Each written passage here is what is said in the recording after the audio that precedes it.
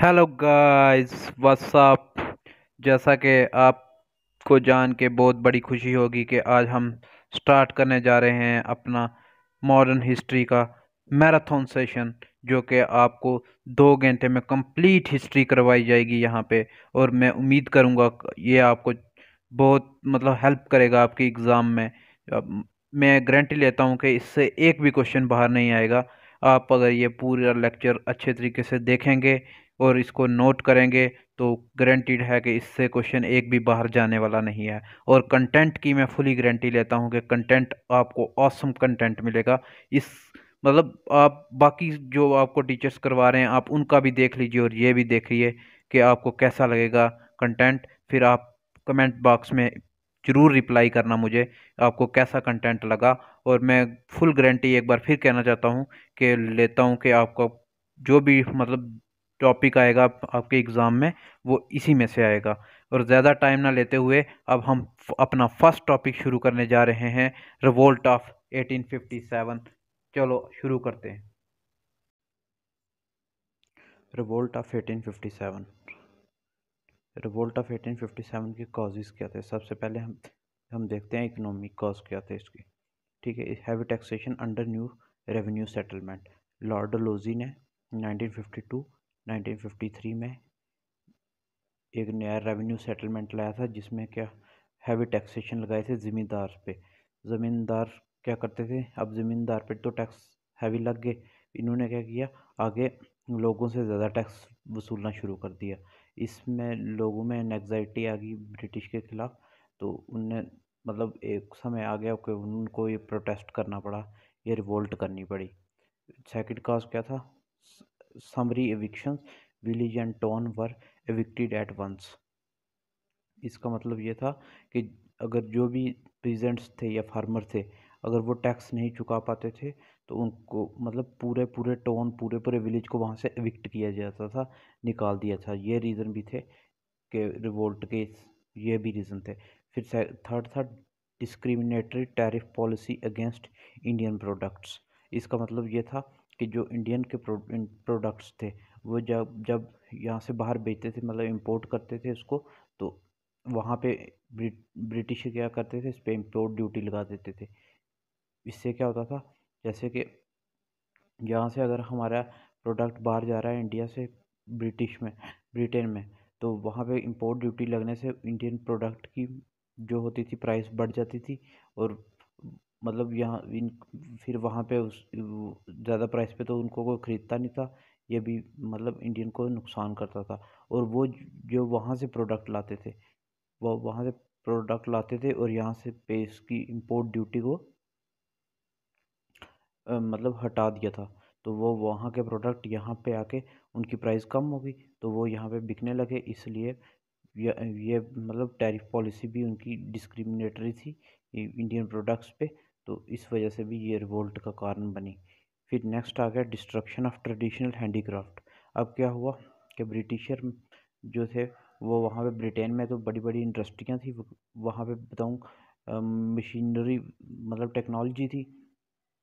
तो मतलब वहाँ पे इजली वो, अगर क्लॉथ की फैक्ट्री है तो वो इजली प्रोड्यूस कर लेते थे। तो जो इंडियन हैंडीक्राफ्ट थे इंडियन हैंडीक्राफ्ट थे तो वो तो मजबूर हो गए मतलब उनको यहाँ पे ना कोई इंडस्ट्री ना कुछ। तो अब ये, जो अब ये हाथों से बनाते थे और ये अगर ये प्रोडक्ट बेचते थे तो ये इनका प्राइस हाई होता था क्योंकि मतलब हाथों से काम करते थे। वो वहाँ पे एक मशीन लाखों में कपड़ा प्रोड्यूस करती थी तो मतलब उनका प्राइस कम होता था। तो इसलिए इनके प्रोडक्ट को ख़रीदना भी बंद कर दिया लोगों ने। तो इस वजह से ट्रेडिशनल हैंडी क्राफ्ट इंडस्ट्री का भी बहुत बड़ा नुकसान हुआ। नेक्स्ट था complete absence of modern industry मतलब इंडिया में कोई इंडस्ट्री तो थी नहीं। 1932 में स्टील इंडस्ट्री लगाई थी टाटा ने। तो उससे पहले तो कोई थी नहीं। तो इसलिए इस वजह से भी लोगों में एनजाइटी थी ब्रिटिश के खिलाफ। ये थे हमारे इकोनॉमिक काजेज़ अब पॉलिटिकल काजेज़ क्या थे? रिवोल्ट के। British interfere in social religious affair British social religious affair में मतलब इंटरफेयर करते थे जैसे हो गया सती प्रथा ने अबॉलिश कर दी फिर उसके बाद एक, एक आया था कॉटरेज इशू आया था कि उसमें क्या होता था जो वो शेल होता था उसका मतलब जो बाहर सील होती थी वो कॉ और पिग की चर्बी से बनी हुई थी इसलिए मतलब हिंदू और मुस्लिम में ये हो गया कि ये उनके रिलीजस के ख़िलाफ़ था तो इस वजह से भी ये एक काज बना रिवोल्ट का, absentee nature of British overlordship. इसका मतलब ये है कि ब्रिटिशर क्या चाहते थे लोगों से? बस वो उनको मतलब अपना वो देते रहें, टैक्स देते रहें, बाकी चाहे जो मर्ज़ी कुछ करें। अगर उनका कोई घर का फैमिली मैटर है या कोई कोई भी मैटर है, उनको उनसे कुछ लेना देना नहीं होता था मतलब एबसेंटी नेचर था उस, उसके उसके लिए। डिससेटिस्फेक्शन अमॉन्ग प्रिंसेस अब प्रिंसेस क्या करते थे? ये सपोर्ट करते थे ब्रिटिश को ब्रिटिशर को, और इस डिससेटिस्फेक्शन थी प्रिंसेस के खिलाफ, लोगों की। तो ये भी एक काज था रिवोल्ट का 1857 का। फिर next military causes military causes कैसे discontentment of among sepoys sepoys में डिसकंटेंटमेंट था, जैसे इकोनॉमिक इकोनॉमिक क्या था कि उनको मतलब जैसे अभी वो एक पर्टिकुलर स्टेट या पर्टिकुलर डिस्ट्रिक्ट में वो सर्विस करते थे, उनको वहाँ से उठा के बाहर भेज दिया जाता था। बाहर तो भेजते थे बट बाहर मतलब जैसे कोई वार होगी, बाहर लड़नी किसी और कंट्री में, वहाँ पे भेज दिया बट उनको इग्नो उनको फॉरेन अलाउंस नहीं मिलता था, जिसको बोलते थे बत्ता, ठीक है? और साथ में इनको बाहर भेज दिया जाता था। वो भी इनके लिए मतलब एक एनजाइटी थी ब्रिटिश के ख़िलाफ़ ठीक है साइकोलॉजिकल एंड रिलीजियस रीज़न भी था रिलीजियस रीज़न ये था कि मतलब हिंदू में क्या होता है कि समुंदर को, पानी को पार नहीं करते तो उनको दूसरी कंट्री में भेजते थे बाई शिप्स तो ये भी एक रिलीजियस काजिस था साइकोलॉजिकल काज ये था कि मतलब जो ब्रिटिशर थे, उनमें जो इंडियन सिपाही भर्ती होते थे, उनको एक पर्टिकुलर पोस्ट तक ही मिलती थी, सूबेदार की पोस्ट होती थी बस वहाँ तक वो, उनको प्रमोट किया जाता था। उस, उसको बोलते हैं नॉन कॉन्वेनेंटेड सर्विसेज़ तो जो ब्रिटिशर थे उनको हायर रैंक मिलता था कॉन्वेनेंटेड सर्विस मिलती थी। तो इसलिए ये भी एक रीज़न था मिलिट्री कॉस्ट था revolt of eighteen fifty seven का। अब हम देखते हैं नेक्स्ट अब मेजर सेंटर कहाँ थे रिवोल्ट के? दिल्ली में था, जिनको लीड कर रहे थे जनरल बख्त खान, कानपुर को नाना साहिब। और लखनऊ में बेगम हज़रत महल, बरेली में खान बहादुर और बिहार में कंवर सिंह, फैज़ाबाद में मौलवी अहमदुल्ला और झांसी में लक्ष्मी बाई को लीड कर रही थी। और ब्रिटिश मिलिट्री लीडरशिप कौन थी जिसने इस रिवोल्ट को सप्रेस किया? दिल्ली में किसने किया? विलोबाई ने और जॉन निकोलसन। ये मोस्ट इंपॉर्टेंट है, ये नाम आपको याद रखने पड़ेंगे। लेफ्टिनेंट हडसन थे और कानपुर में सर ह्यूग विलर थे और कॉलिन कैंपबेल थे। और लखनऊ में हेनरी लॉरेंस और ब्रिगेडियर इंग्लिश थे और झांसी में सर ह्यूग रोज और बनारस में कर्नल जेम्स नील थे, जिन्होंने रिवोल्ट को सप्रेस किया था। नेक्स्ट इसके फेलियर के क्या काज थे? लिमिटेड टेरिटोरियल और सोशल बेस था। मतलब ये जो रिवोल्ट थी, ये सिर्फ़ नॉर्थ इंडिया में थी। साउथ में इसका कोई नामो निशान नहीं था। तो इसलिए ये एक लिमिटेड टेरिटोरियल सोशल बेस था इसका। Crucial support of section to colonial regime Britisher को सपोर्ट था। सिक्स और गोरखा मतलब ये ब्रिटिश को को सपोर्ट करते थे मतलब कलोनियल रजीम को सपोर्ट करते थे। अब lack of resource central coordination और लीडरशिप थी।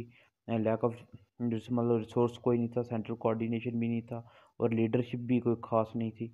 मतलब ये था कि मतलब जो हमारे ये मुग़ल थे, इनमें बहादुर शाह जफ़र, वो भी तब एटी टू ईयर ओल्ड के थे। मतलब कोई लीडरशिप सबसे मेन काज यही था कि इनके पास लीडरशिप नहीं थी, इसलिए ये फेलियर का काज है लैक ऑफ़ कोरेंट आइडियोलॉजी तब तक लोगों में नेशनलिज्म नहीं था।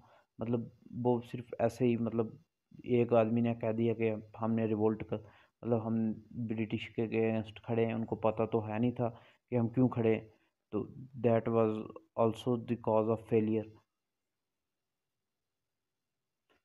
अब इफ़ेक्ट क्या पड़ा रिवोल्ट से? अब जो कंपनी रूल था वो ख़त्म हो गया और क्रोन ने उसको टेक कवर कर लिया। अल्ट्रेशन एडमिनिस्ट्रेशन में चेंजेस लाई। क्वीन के प्रोक्लेमेशन ने racial hatred further deepened because of representation British press अब ब्रिटिश प्रेस क्या करती थी? ब्रिटिश में मतलब ये दिख, पेश करती थी, दिखाती थी कि मतलब जो भी है मतलब इंडियन क्रूल है। मतलब एक इंडियन का अलग ही फेस ब्रिटेन में बना दिया था। फिर वहाँ पे अब लोग क्या करने लगे थे? इंडियन पीपल के साथ हेट्रेड करने लगे थे। तो that was the effect of revolt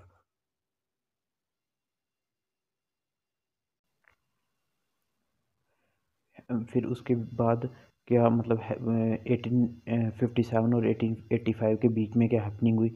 इसमें क्या हैपनिंग हुई? यूनिवर्सिटी तीन यूनिवर्सिटीज़ ओपन की गई कलकत्ता मद्रास और बम्बे में 1857 में। इन यूनिवर्सिटीज़ ने हेल्प किया कि इन यूनिवर्सिटी ने इंडियंस की हेल्प की कि उन, उनको अंडरस्टैंड करवाया वेस्टर्न पॉलिटिकल आइडियाज़ से। मतलब वेस्टर्न पॉलिटिकल आइडिया से इंडियंस को अवेयर करवाया। कंट्रोवर्सी लाइक अल्बर्ट बिल आया मतलब अल्बर्ट बिल आया अल्बर्ट बिल क्या था? ये सबसे पहले मैं ये आपको बताना चाहता हूँ। अल्बर्ट बिल था। ये इंट्रोड्यूस हुआ था 1883 में। तब वाइस रहे थे लॉर्ड रिपन उन्होंने लिखा था, सर कोर्टेनी प्रिगिन एल्बर्ट को कि मतलब तब एक केस हुआ था ब्रिटेन में इंडिया में एक केस हुआ था। एक ब्रिटिन वुमेन थी ब्रिटिश वुमेन उसका रेप किया था एक इंडियन ने। तो वो केस जब कोर्ट में गया तो उसको भी कौन सा जज हेयर कर रहा था उनको एक इंडियन जज हेयर कर रहा था। तो मतलब ब्रिटिश इसको अच्छा नहीं समझते थे और ब्रिटिशर्स ने, तब क्या किया लॉर्ड रिपर ने एक बिल लाया एल्बर्ट बिल उसको कहा गया उसमें ये ये था कि जो भी ऐसा केस होगा उस ऐसे वाले केस में क्या होगा कि इंडियन जज ले मतलब ट्रायल ले सकते हैं बट उसमें यह होना चाहिए कि फिफ्टी परसेंट जो जूरी होने चाहिए, वो ब्रिटिशर होने चाहिए। ठीक है? जो पैनल होगा, उसमें फिफ्टी परसेंट ब्रिटिशर्स होंगे और इंडियन जूरी भी होगा, तभी इंडियन ले सकते हैं उस केस को। ये था एल्बर्ट विल और अब ये कंट्रोवर्सी लाइक एल्बर्ट विल फिर क्या किया था? अबॉलिश कर दी थी five percent custom duty imported cloth from Lancashire ये जो मतलब बाहर, वहाँ ब्रिटेन में एक जगह लेशन चायर वहाँ से जो कपड़े आते थे, उस पर फाइव परसेंट इंडिया में कस्टम ड्यूटी लगती थी, वो इन्होंने हटा दी थी। इससे क्या हुआ था कि उनके कपड़े यहाँ पे मतलब सस्ते हो गए, ठीक है? तो इंडियन के महँगे थे मतलब रेट हाई थे। तो उस उस वजह से क्या हुआ English master don't really want to help Indian society in any way यहाँ मतलब यहाँ से पता चलता है कि वो इंडियन सोसाइटी को हेल्प नहीं करना चाहते थे। फिर इसके बीच में एक आया arm act nineteen eighteen seventy eight इसमें यह था कि अगर आप कोई भी गन या पिस्टल वगैरह रखते हो तो उससे पहले आपको एक लाइसेंस लेना पड़ता था। ठीक है? Vernacular press act vernacular press act eighteen seventy eight में आया। इसमें क्या कहना था? इसमें यह कहना था कि मतलब वर्नैकुलर क्या होता है? अपनी ही लैंग्वेज में। अपनी लैंग्वेज में तब न्यूज़पेपर होते थे। जैसे कि उसमें क्या होता था? जैसे जब रिवोल्ट हुई, इसमें न्यूज़पेपर ब्रिटिश मतलब वर्नैकुलर लैंग्वेज में ब्रिटिशर के अगेंस्ट में बहुत कुछ लिखते थे। अब इन्होंने एक एक्ट पास किया एटीन सेवेंटी एट में। इसमें क्या किया कि इन्होंने बोला कि जो भी वर्न प्रेस होगी, ऐसे वर्नैकुलर प्रेस होंगी उनको पब्लिश करने से पहले अपना न्यूज़पेपर एक कॉपी एक दिन पहले मतलब सबमिट करवानी पड़ेगी ब्रिटिशर्स को, ठीक है? फिर फैक्ट्री एक्ट लाया एटीन एटी वन में कोई फैक्ट्री अगर कोई भी इस्टेब्लिश करेगा उसको भी लाइसेंस लेना पड़ेगा और इन्होंने साथ में क्या किया, इन्होंने age against reduction in maximum age for appearing in civil services civil services की जो एज थी, उसको रिड्यूस किया, उसको रिड्यूस किया ट्वेंटी वन ईयर में। ठीक है? ये था जो एटीन एटीन फिफ्टी सेवन से एटी एट्टी फाइव के बीच में जो जो हुआ। अब रिवोल्ट के बाद अब हमारा स्टार्ट होगा Indian national movement Indian national movement में सबसे पहले आप देखेंगे, कांग्रेस कैसे बनी। ठीक है? Congress Indian national Congress in 1883 decided to invite prominent public man and association to discuss question on general concern Indian national Congress 1883 में क्या करती है? नेशनल इंडियन नेशनल कांग्रेस नहीं होती एक्चुअली उसका नाम होता है नेशनल कॉन्फ्रेंस वो 1883 में डिसाइड करती है कि पब्लिक मीटिंग करेंगे, और उसमें हम, जो मतलब ब्रिटिश के रिगार्डिंग हमारे कंसर्न्स है, वो उसमें डिस्कस करेंगे। क्या करते थे, वो मतलब सोचते थे कि जो ब्रिटिशर्स हैं, वो मतलब उनमें रेशियल वो हमसे डिस्क्रिमिनेशन करते हैं। तो अब ब्रिटिश को ब्रिटिश की ही लैंग्वेज में हम जवाब देंगे। मतलब उनने इस तरीके से मीटिंग ऑर्गेनाइज की, अब लोगों को मतलब वो अवेयर करना चाहते थे ब्रिटिश के अगेंस्ट ठीक है?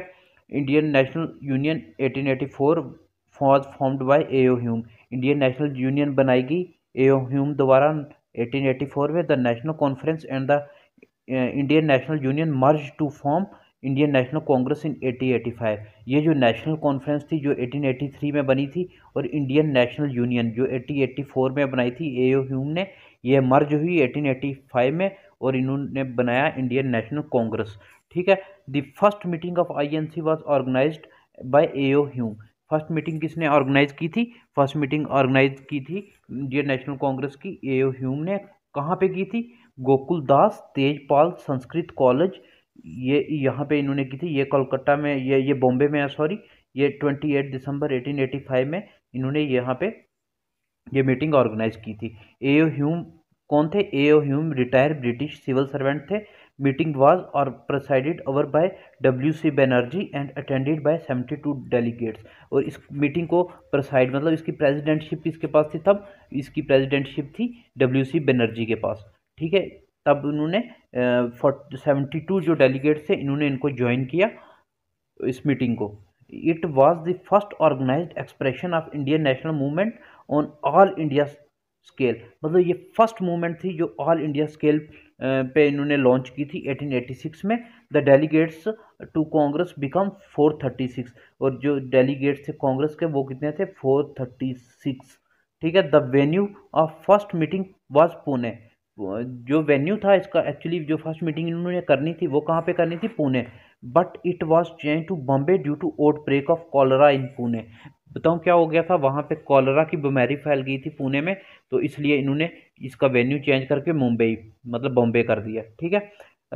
Kadambini Ganguly was the first woman graduate of Calcutta university to address the Congress session in 1889 Kadambini Ganguly first woman थी जो ग्रेजुएट थी कलकत्ता यूनिवर्सिटी से, उन्होंने एड्रेस किया था इस कांग्रेस के सेशन को 1889 वाले को, ठीक है? इसका क्या था? Safety valve theory British historian argue Hume main purpose was to provide safety valve to the growing discontent among the educated Indians ठीक है? अब अंग्रेज़ों का क्या मानना था? कुछ ब्रिटिशर हिस्टोरियन थे, उनका मानना था ये ये ह्यूम ने क्यों बनाई थी? एज अ सेफ्टी वॉल बनाई थी, क्योंकि जो इंडियन एजुकेटेड पीपल थे, उनका डिसकॉन्टेंट अमोंग ब्रिटन्स फैल रहा था। इसलिए उन्होंने सोचा कि हम एक ऑर्गेनाइजेशन बना लेते हैं तो उसमें हम मतलब इन ग्रेजुएट्स जो भी पढ़े लिखे लोग हैं इंडियंस इनको हम समझाएँगे और जो ब्रिटिश के खिलाफ इनका डिसकॉन्टेंट है, उसको मिनिमाइज़ करने की हम कोशिश करेंगे। अब देखो आगे क्या हुआ?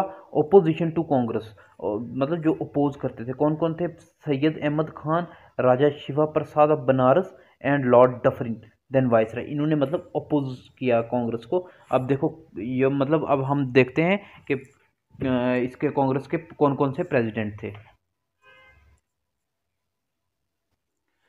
देखो, अब जो फ़र्स्ट प्रेसिडेंट ऑफ़ आईएनसी के कौन थे? डब्ल्यू सी बनर्जी और फ़र्स्ट वुमेन प्रेसिडेंट कौन थी? Annie Besant first Muslim president कौन थे? ये बदरुद्दीन तैयब जी थे। इनका सेशन कौन सा था? इनका सेशन था 1887 वाला, जो कि कौन सा था? मद्रास सेशन। इन्होंने प्रिसाइड किया था। किसने किया था? ये इन्होंने किया था बदरुद्दीन तैयब जी ने। और फ़र्स्ट इंग्लिश प्रेसिडेंट कौन थी? इंग्लिश प्रेसिडेंट थे जॉर्ज यूल ये इनका इनका सेशन था 1880 1818 सॉरी 1818 ये कहाँ पे हुआ था? ये इलाहाबाद में हुआ था, ठीक है? ये आप नोट कर लेंगे, ये इम्पोर्टेंट सेशन है। फिर नेक्स्ट अब देखते हैं। फ़र्स्ट इंडियन वुमेन प्रेसिडेंट कौन थी? सरोजनी नायडू थी। गांधी बिकम कब प्रेसिडेंट रहे? 1924 बेलगाम सेशन था। जवाहरलाल नेहरू 1929 जो लाहौर सेशन था, यहाँ पे तब प्रेसिडेंट रहे थे। यहाँ पे इन्होंने दिया था पूर्ण स्वराज। यहाँ पे इन्होंने मतलब मांगा कि हम मतलब फुल मतलब होंगे इंडिपेंडेंट हम मतलब इंडिपेंडेंट होना चाहते यहाँ पे डोमिनियन स्टेटस को इन्होंने लेने से इनकार कर दिया था। ठीक है? फिर अब देखो अगर सुभाष चंद्र बोस कौन से में थे? 1938 हरिपुरा सेशन था, उसमें ये प्रेसिडेंट थे। और फिर उसके बाद जे बी कृपलानी कब थे? ये आफ्टर इंडिपेंडेंस ये प्रेसिडेंट बने थे। एट इंडिपेंडेंस जब इंडिपेंडेंस हुआ था, तब बने थे। फिर उसके बाद क्या हुआ? उसके बाद अब मेथड एंड ऑब्जेक्टिव्स और मेथड क्या थे? वर्क करने के किस किस के? मॉडरेट फेस में और और एक्सट्रीमिस्ट फेस में हम देखेंगे। मॉडरेट फेस कहाँ से कहाँ रहा? 1885 से 1905 तक। Development and consolidation of feelings of national unity irrespective of race caste religion province इनका मतलब मॉडरेट्स का मानना था कि मतलब रेशियल डिस्क्रिमिनेशन नहीं होना चाहिए। कास्ट के रिलेटेड रिलीजन के रिलेटेड या प्रोविंस के रिलेटेड मतलब हम में होनी चाहिए नेशनल यूनिटी होनी चाहिए। हमें मतलब पैट्र पैट्रोटियाज पैट्रोटियाज मतलब हमें पैट्रियाट होना चाहिए अपने कंट्री के लिए। मतलब वो फीलिंग रखनी चाहिए। हम मतलब आ, हमें अपने देश के प्रति यूनिटी होनी चाहिए। Peaceful constitutional education prayer petition were the instrument of work इनका मतलब क्या होता था? इनका होता था कि ब्रिटिश से प्यार से मांगना। सबसे पहले प्रेयर करनी एजि फिर पटिशन डालनी। अगर फिर नहीं माना एजुटेशन करना। तो अगर ये भी नहीं माना तो फिर चुप करके बैठ जाना। They succeeded in passing the Indian council act eighteen ninety two, इन, इनकी मतलब एक अचीवमेंट थी कि इन्होंने एक एक्ट पास करवाया था ब्रिटिशर से, जो था Indian council act 1892 which allow some member to indirectly elected by Indians ये मतलब एक्ट क्या लो करता था कि कुछ मेंबर जो होंगे वो इनडायरेक्टली इलेक्ट किए जाएँगे इंडियंस के द्वारा by keeping the official majority intact पर मेजोरिटी इंटैक्ट रहेगी। फिर मॉडरेट लीडर कौन कौन से थे? Moderate leader A O Hume थे दादा भाई नौरोजी थे बदरुद्दीन तैयब जी थे एम जी रनाडे थे डब्ल्यू सी बनर्जी थी एस एन बनर्जी थे फिरोज शाह मेहता थे सी चरण सी शंकरन नायर थे एम एम वालविया थे वी एस श्रीनिवास शास्त्री थे तेज बहादुर सप्रू थे जी के गोखले थे आनंद मोहन बोस थे ई दिनेश वाचा थे राज बिहारी घोष थे मदन लाल घोष थे पी अनंत चा, चारलू थे सी वाई चिंतामणि थे आर सी दत्त थे एस सुब्रमण्यम अय्यर थे, के टी तिलांग थे, मधुसूदन दास थे रहमतुल्ला एम सियानी थे। ये सारे थे कौन से मॉडरेट? और हम अब एक्सट्रीमिस्ट भी पढ़ेंगे, वो कौन से थे? और उनका फेस भी पढ़ेंगे। इसकी टेंशन लेने की आपको ज़रूरत नहीं है। अब देखिए क्या हुआ they work to create a strong public opinion rouse consciousness national spirit मतलब इनका क्या था कि इन्होंने एक पब्लिक ओपिनियन इनका वर्क करने का तरीका था कि पब्लिक ओपिनियन लोगों में क्रिएट करना और नेशनल स्पिरिट लोगों के अंदर मतलब feeling जगानी। They persuaded British government and British public opinion to introduce reform in India. ये क्या करते थे? ये परसुएड करते थे ब्रिटिश गवर्नमेंट को और ब्रिटिश पब्लिक को मतलब अपना ओपिनियन देते थे कि वो इंट्रोड्यूस करें रिफॉर्म इंडिया में। अब एक्सट्रीमिस्ट फेस कहाँ से कहाँ तक था? 1905 से लेकर 1917 तक। ये अब कॉज ऑफ़ एक्सट्रीमिस्ट क्या थे? मतलब क्यों एक्सट्रीमिज्म हुआ? Dissatisfaction with the method and achievement of moderates अब ये डिससेटिस्फाइड थे इंडियन नेशनल कांग्रेस से। उनका मॉडरेट्स का काम करने का तरीका बहुत अलग था। जैसे मैंने आपको बताया, वो पहले प्रीच करते थे प्रेयर करते थे, फिर एजुटेशन करते थे और फिर कुछ नहीं होता तो तो ये बैठ जाते थे। ये इस चीज़ पे एक्सट्रीमिस्ट बिलीव नहीं करते थे। वो कहते थे, अगर हमारी कंट्री है, ये हमारा ही हक है। हमें इस, इसको लड़ के लेना चाहिए। मतलब ब्रिटिश के आगे हमें झुकना नहीं चाहिए। Growing consciousness about the exploitative character of British rule loss of Britain in the Boer war demolish the myth of white man supremacy अब क्या हुआ? एक बोर वार हुई थी। उसमें मतलब ब्रिटिश हार गई थी। अब एक्सट्रीमिस्ट को लगा कि ब्रिटिश की मन में इतनी पावर नहीं रही। मतलब उनकी सुपरमेसी अब कम हो गई। इसलिए भी एक्सट्रीमिज्म ये जागा था। ये भी कॉज था इसका। रिएक्शनरी पॉलिसी ऑफ़ कर्जन मतलब कर्जन की कुछ पॉलिसी थी मतलब जैसे यूनिवर्सिटी एक्ट बना दिया था। अब वो क्या वहाँ पे कर्जन का क्या मानना था कि यूनिवर्सिटी में यहाँ से रेवोल्यूशनरीज पैदा होते हैं। ठीक है? इसका यह मानना था और इसने मतलब कंट्रोल में ली थी यूनिवर्सिटीज़ भी। इंडियन ऑफिशियल सीक्रेट एक्ट जैसे, फिर मतलब restriction freedom of press and partition of Bengal अब प्रेस एक्ट में क्या था? प्रेस एक्ट में ये था को, कोई भी जो प्रेस थी अपने वर्नैकुलर लैंग्वेजेस में पेपर निकालती थी और उसमें मतलब ब्रिटिश को क्रिटिसाइज़ करते थे वो एक्चुअली अपने पेपर में। अब ब्रिटिशर ने क्या कहा? ब्रिटिशर ने कहा जो भी वर्नैकुलर प्रेस है वो सबसे पहले क्या करेगी? कोई भी आर्टिकल अगर पब्लिश करेगी उससे पहले वो एक दिन पहले अपने पेपर की एक कॉपी हमारे पास सबमिट करवाएगी उसी के बाद वो अपना पेपर पब्लिश कर सकती है। Extremist give the idea of Indian independence the central place in Indian politics extremist ने मतलब वो शुरू से ही कंप्लीट इंडिपेंडेंस चाहते थे, उनका एक सेंट्रल एक्सपेक्ट ही यही था कंप्लीट इंडिपेंडेंस और मॉडरेट्स क्या बोलते थे? मॉडरेट्स शुरू में बोलते रहे, हमें डोमिनियन स्टेटस चाहिए। फॉरेन अफेयर्स आप ले लो मॉनिटरी पॉलिसी भी आप ले लो, बस हमें इंटरनल मैटर में हमें इंडिपेंडेंस दे दो, वो ये चाहते थे। पर एक्सट्रीमिस्ट का क्या मानना था? एक्सट्रीमिस्ट का मानना था, हमें चाहिए कंप्लीट इंडिपेंडेंस हमें कोई डोमिनियन स्टेटस आपसे नहीं चाहिए, हमें चाहिए कंप्लीट इंडिपेंडेंस ठीक है? फिर उसके बाद क्या हुआ? मेथड ऑफ़ एक्सट्रीमिस्ट क्या थे? Promotion of swadeshi and boycott foreign good अब एक्सट्रीमिस्ट क्या बोलते? एक्सट्रीमिस्ट बोलते आप बाइकआउट करो ब्रिटिशर गुड का। अपना मतलब स्वदेशी गुड्स अपनाओ। मतलब अपने ही, अपनी ही फैक्ट्री लगाओ, अपने इंडस्ट्री लगाओ अपने कॉलेज खोलो, अपने स्कूल खोलो और मतलब सेल्फ रिलायंस हो जाओ। मतलब उनकी वो पैसिव रेजिस्टेंस थे ब्रिटिश के मतलब नॉन कॉरपोरेशन को ब्रिटिश को करना इन मतलब इन दी एस्पेक्ट के हम बाइकआउट करते हैं आपके सभी गुड्स का। एक्सट्रीमिस्ट लीडर कौन से थे? ये मोस्ट इंपॉर्टेंट है। ये गिने चुने लीडर हैं, ये आपको याद भी रहेंगे। एक आप याद रख लो ट्रिक लाल, बाल, पाल। ठीक है? अब ये मैं बताता हूँ, लाल, बाल, पाल कौन थे? लाल मीन्स हो गया लाला लाजपत राय, बाल मीन्स हो गया बाल गंगाधर तिलक और पाल मीन्स हो गया बिपिन चंद्र पाल। और उसके साथ थे सर अरबिंदो घोष और चक्रवर्ती बोस और टी प्रकाशन और चिदम्बरम पिल्लाई। ठीक है, ये हमारे थे कुछ एक्सट्रीमिस्ट लीडर ये चाहते थे कि मतलब ये जो मूवमेंट हो, ये आउट साइड बंगाल हो। बंगाल में ना रहे, ये आउट साइड बंगाल भी मूवमेंट रहे। ठीक है, इनका मानना ये था। फिर उसके बाद क्या हुआ? उसके बाद जब ये सारा कुछ होने के बाद फिर आया जी पटिशन ऑफ़ बंगाल अब पटिशन ऑफ़ फिर पटिशन ऑफ़ बंगाल आया। इसमें क्या किया? लॉर्ड कज़न ने पटिशन ऑफ़ बंगाल किया कब? 16 अक्टूबर 1905 को ऑब्जेक्टिव क्या था? इस पटिशन का ऑब्जेक्टिव ये था कि हिंदू मुस्लिम को डिवाइड करना उनमें गल्फ पैदा करना कम्युनल गल्फ। अब क्या कर था कि जो मतलब फिर आगे देखते हैं the Indian national movement enter into second phase after partition of Bengal अब जो इंडियन नेशनल मूवमेंट थी, ये एक सेकंड फ़ेज़ में पहुँच चुकी थी जब पटिशन ऑफ़ बंगाल हुआ।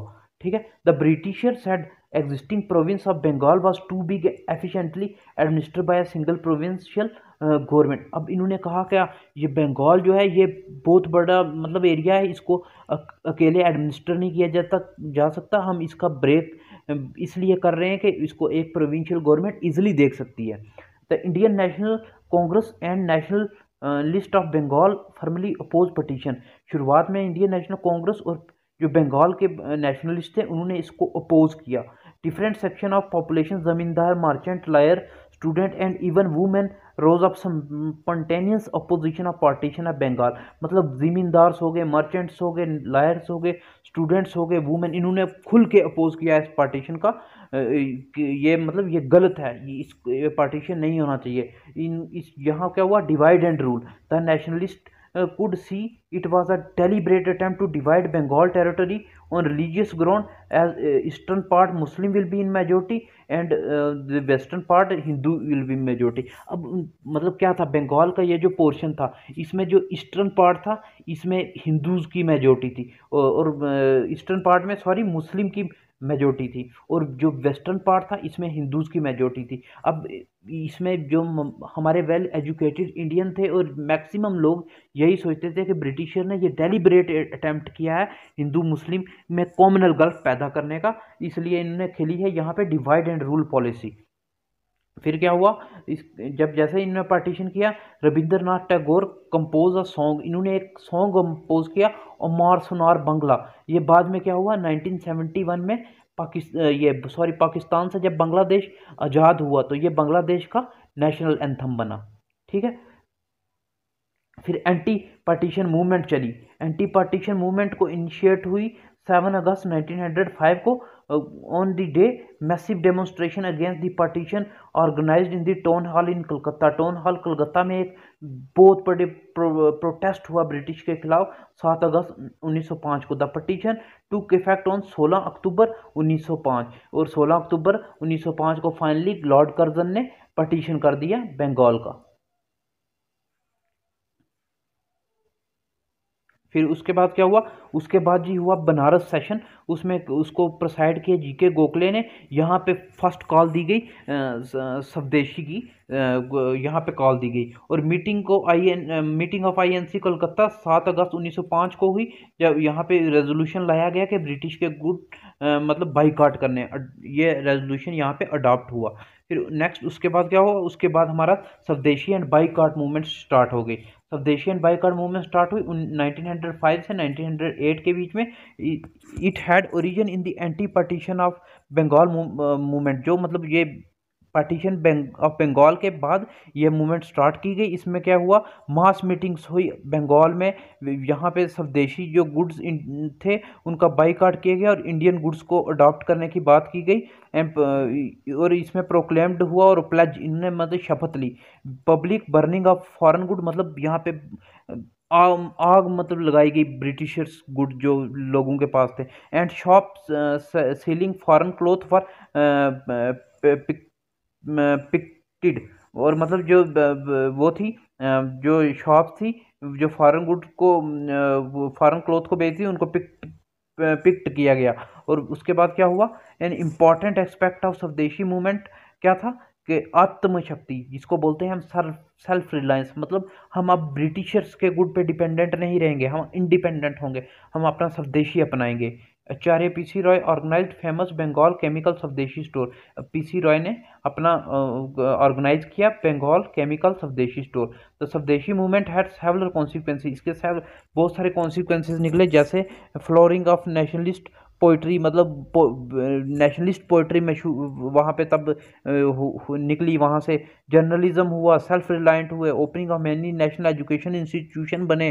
ठीक है national educational institution was founded example जैसे बंगाल टेक्निकल इंस्टीट्यूट बना बंगाल नेशनल कॉलेज बना, ठीक है बिपिन चंद्रपाल और चिदम्बरम पिलाई जो थे इन्होंने वंदे मातरम मूवमेंट चलाई मद्रास में। लाला लाजपत राय और अजीत सिंह ने मूवमेंट चलाई पंजाब में। सैदर, सैयद हैदर अली रज़ा ने मूवमेंट चलाई दिल्ली में, ठीक है। फिर, अब स्वदेशी मूवमेंट फेल क्यों हुआ? क्यों फेल हुआ? सेवर गवर्नमेंट रिप्रिक्रेशन मतलब बहुत सारे गवर्नमेंट ने हथकंडे अपनाए, जैसे लाठी चार्ज वगैरह मतलब उनको रोकने की मतलब उनको एक किस्म से दबा दिया उसको इसको, स्वदेशी मूवमेंट को। Split in nationalist at Surat Surat में स्प्लिट हो गया था मॉडरेट और एक्सट्रीमिस्ट अलग अलग हो गए थे, इस कारण से भी स्वदेशी मूवमेंट फेल हुआ। लैक ऑफ़ इफ़ेक्टिव ऑर्गेनाइजेशन मतलब कोई मतलब इसको ऑर्गेनाइज करने वाले मतलब सही बनते नहीं थे या उनके पास लीडरशिप नहीं थी तो इसलिए भी ये फेल हुआ।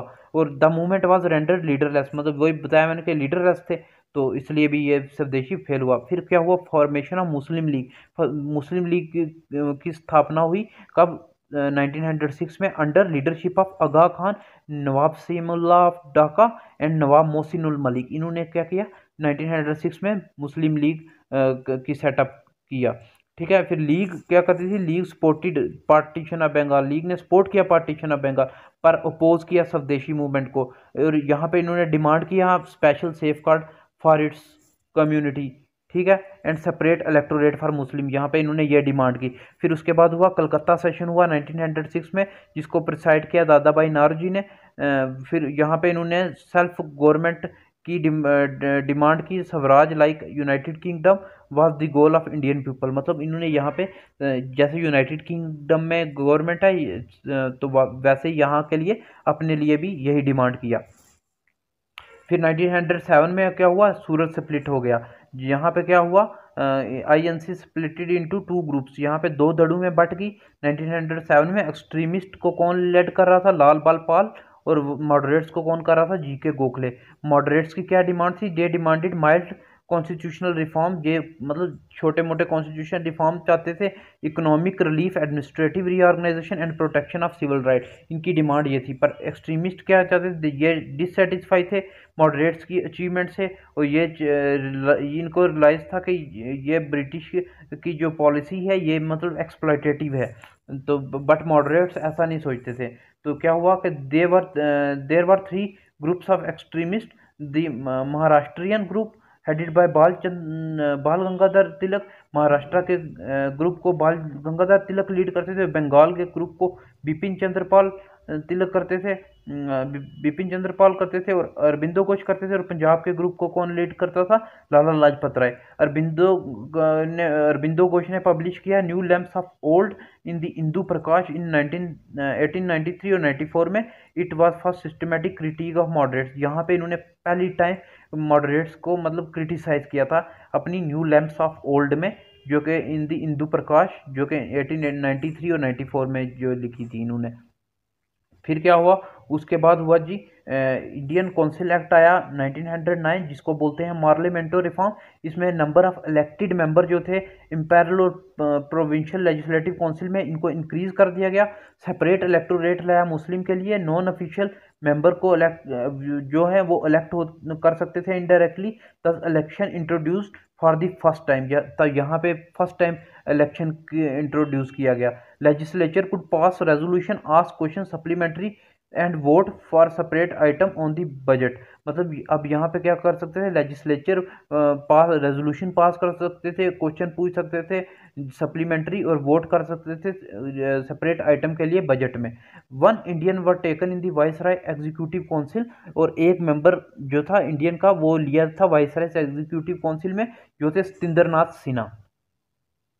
ये थे वाइसराय एग्जीक्यू फ़र्स्ट इंडियन मेंबर थे जो एग्जीक्यूटिव काउंसिल में थे वाइसराय की। और फिर बाद में यहाँ पे क्या हुआ? जो बंगाल का जो इन्होंने पटिशन किया था, इनको अनुलमेंट कर दिया गया। पटिशन को मतलब वापस से बंगाल को जोड़ दिया गया। वेस्टर्न और ईस्टर्न बंगाल वर रीयूनाइटेड ठीक है, फिर इसके बाद क्या हुआ? गदर पार्टी जो कि बाहर बनाई गई। इसको किसने बनाया? लाला हरदयाल, तारकनाथ दास और सोन सिंह बखाना ने। ये क्या था? The war period witness the growth of revolutionary movement not only in India but outside India as well by the Indians अब क्या 1940 में वर्ल्ड वार शुरू हो गई थी? और तब विटनेस ये विटनेस था कि इंडियन में तो रेवोल्यूशनरी थे ही थे, पर आउटसाइड द इंडिया भी रेवोल्यूशनरी एक्टिविटी शुरू हो गई थी। और यूनाइटेड स्टेट ऑफ़ अमेरिका और कनेडा में इस्टेब्लिश की गई गदर पार्टी 1913 में most of the member of the party were Punjabi Sikhs peasant ex soldier who migrated इस पार्टी में कौन मैक्सिमम जो थे, वो सिक्स सोल्जर थे पीजेंट थे या एक्स सोल्जर थे या पंजाबी सिक्स थे जो किसान थे। The party was built around the weekly paper Ghadar ये, एक वीकली पेपर गदर आता था, इसके बेस पर यह पार्टी बनाई गई, जिस, जो, जिसका कैप्शन था, अंग्रेज़ी राज का दुश्मन। और इसका हेडक्वार्टर था गदर पार्टी का सैन फ्रांसिस्को में। और फिर क्या हुआ आउट ब्रेक हुआ फ़र्स्ट वर्ल्ड वार का, और जो गदराइटिस से इन्होंने सोचा कि अब हमारे पास अपॉर्चुनिटी है कि हम अब इंडिया को फ्री करा सकते हैं अंग्रेज़ों से। फिर क्या हुआ they began to return to India in thousand four a revolt ये इंडिया वापस आए रिवोल्ट करने के लिए। पर इनकी एक्टिविटी ये इनको एक्टिविटी करने, देने से पहले इनकी जो खबर थी, ये ब्रिटिशर्स को पता चल गई और बहुत सारे इन गदरिटीज़ को अरेस्ट कर लिया गया और बहुत को इम्प्रिजन में डाल, जेल में डाल दिया गया और इसको गद, इसको रिबिलियंस रेजिमेंट को डिस्पेंड कर दिया गया। ठीक है?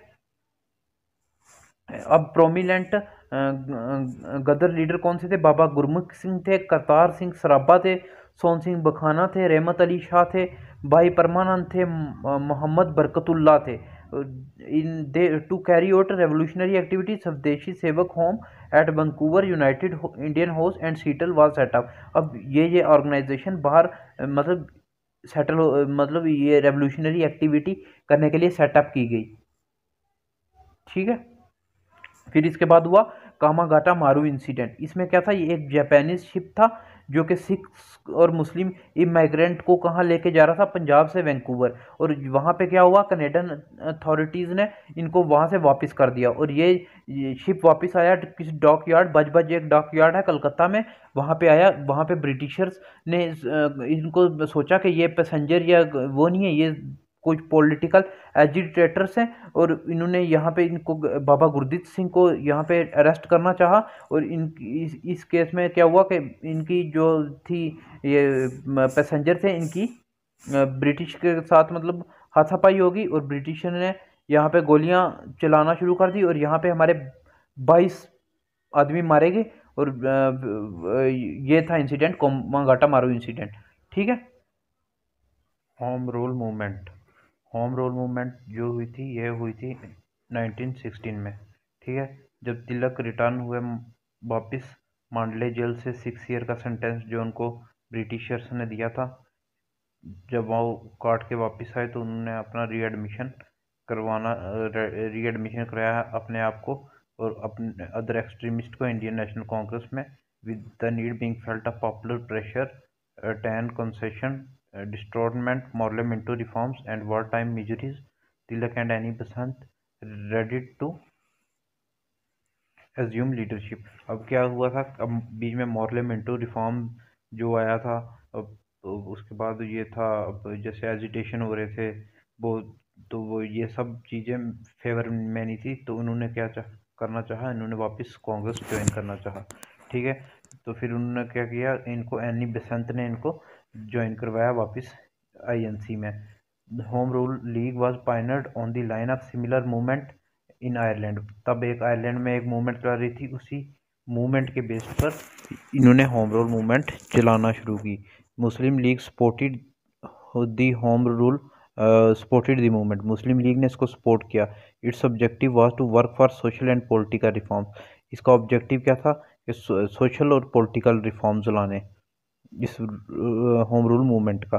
ठीक है? फिर नेक्स्ट आप देखते हैं क्या हुआ, फिर उसके बाद Tilak home rule movement Tilak ने होम रूल मूवमेंट ये स्टार्ट की 1916 को पूना में।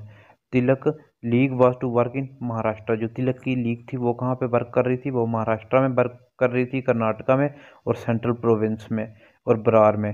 एक्सक्लूडिंग बम्बे। बम्बे को छोड़कर बरार सेंट्रल प्रोविंस कर्नाटका, महाराष्ट्र में जो तिलक की लीव वर्क कर रही थी। ठीक है? फिर उसके बाद क्या? Tilak link top the question of swaraj with the demanded for the formation of linguistic state. Tilak ने इसको लिंक किया स्वराज से और डिमांड की कि यहाँ हमारे, हमें लैंग्विस्टिक बेस पे स्टेट हमें चाहिए and education in vernacular language और हमें जो एजुकेशन भी अपनी ही ज़ुबान में चाहिए। और उन्होंने एक स्लोगन दिया था तब, swaraj is my birth right and I shall have it. उन्होंने कहा था कि स्वराज मेरा मतलब जन्म सिद्ध अधिकार है और मैं इसे लेकर रहूँगा। तारीख तिलक के न्यूज़पेपर थे मराठा और केसरी, जो के आर्गन थे होम रूल्स के। मतलब होम रूल मूवमेंट जब चल रही थी तो ये दो पेपर में इसको बढ़ चढ़ कर इसको प्रदर्शन किया जाता था, होम रूल मूवमेंट का मराठा और केसरी में। एनी बसंत की होम रूल मूवमेंट थी, वो उन्होंने किसके साथ मिलकर शुरू की थी? उन्होंने मिलकर शुरू की थी जॉर्ज अरुणदले ठीक है? एज सेक्रेटरी एट अद्यार वो सेक्रेटरी से अद्यार में सितंबर 1960 को एनी बसंत की मूवमेंट होम रूल मूवमेंट शुरू की। Annie Besant league was worked in the rest of India. Annie Besant की जो लीग थी, वो वर्क करती थी रेस्ट ऑफ़ इंडिया, जो मतलब ऊपर तिलक की मैंने जैसे बताया, बरार, सेंट्रल प्रोविंस और या कौन कौन सी सेंट्रल प्रोविंस कर्नाटका और महाराष्ट्र इनको छोड़कर एनी बसंत की मूवमेंट बाकी जगह पे वर्क कर रही थी, ठीक है रेस्ट ऑफ़ इंडिया में। एनी बसंत न्यूज़पेपर कौन से थे? The New Indian and Commonwealth उनके कौन से थे? मराठा और Kesari.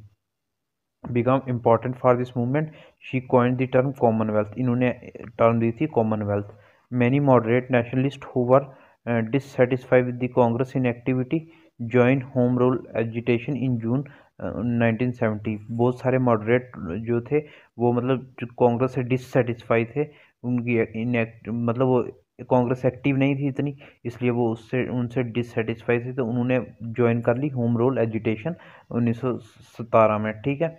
Annie Besant was arrested and popular pressure force the government to release her in September 1970 तब एनी एनी बसंत को क्या किया इन्होंने? इन्होंने जेल में डाल दिया, पर इनके ऊपर ऐसा प्रेशर डाला गया कि इनको बाद में एनी बसंत को सितंबर 1970 में रिलीज़ करना पड़ा। ठीक है? फिर उसके बाद क्या हुआ? उसके बाद हुआ लखनऊ सेशन कांग्रेस का 1960 में। इसमें इसको प्रिसाइड किया था अंबिका चरण मजूमदार ने 1916 को लखनऊ सेशन कांग्रेस का।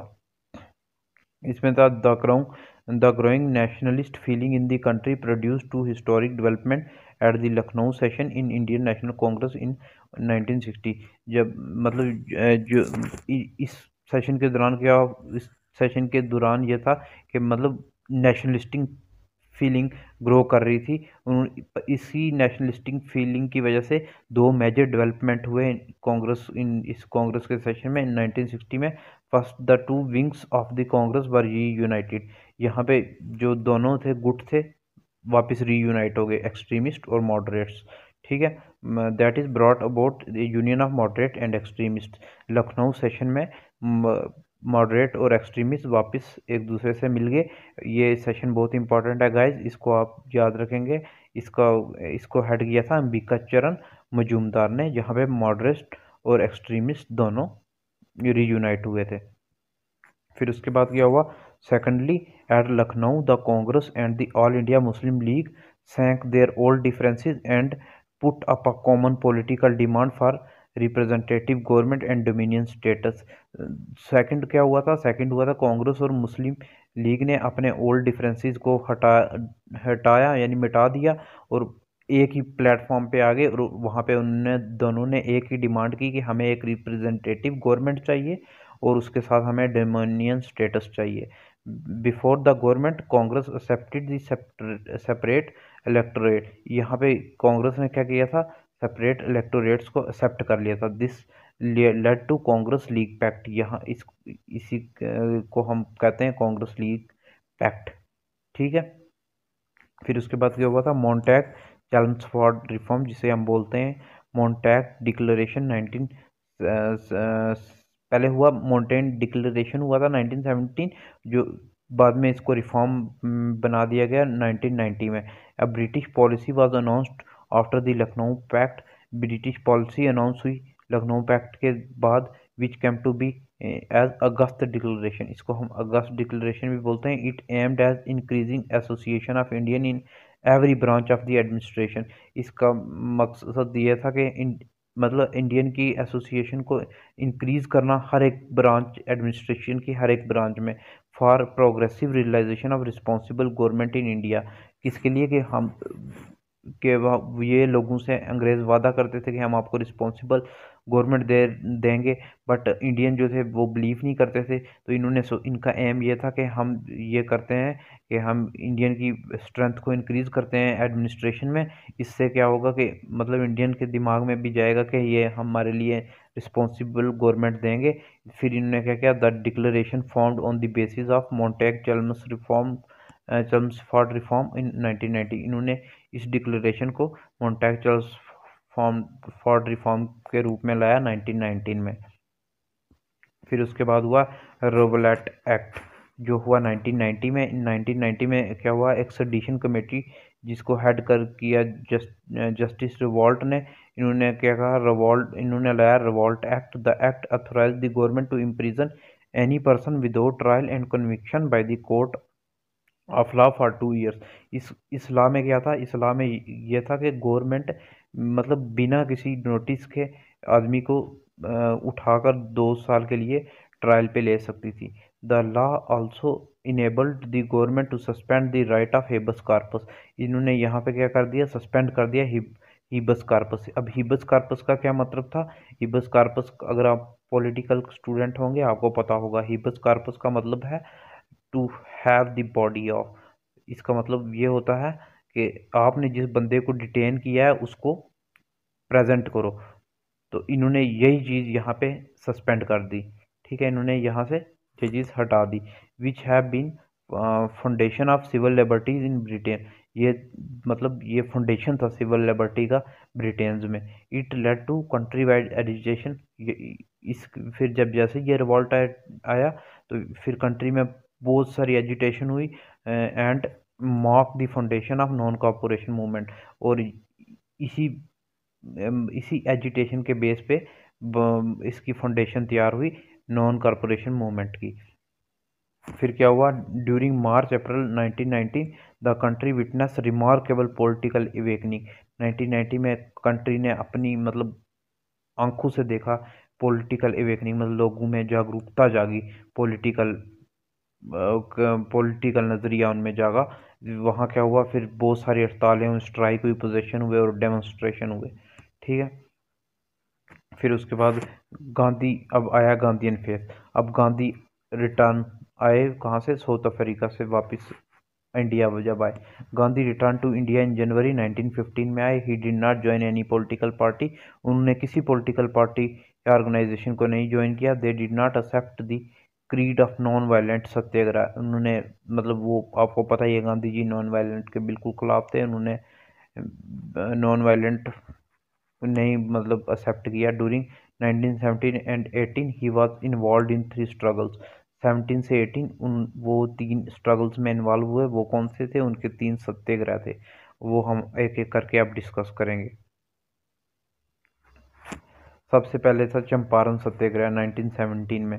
इसको हम बोलते हैं first civil disobedience movement to look the problems of indigo planters इसमें था तीन कटिया सिस्टम। अब इस, ये क्या था कि मतलब अंग्रेज़ बोलते थे अपने एक तिहाई हिस्से पे इंडिगो की प्लांटेशन करनी है।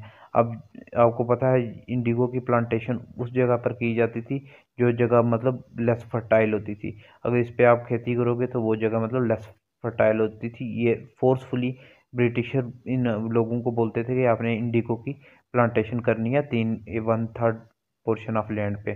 तो गांधी जी ने इसके खिलाफ सत्याग्रह किया था और आखिर में अंग्रेज़ों को ये अपना मतलब कानून वापस लेना पड़ा था। और सेकंड इन्होंने किया था अहमदाबाद मिल स्ट्राइक हुई थी 1980 में।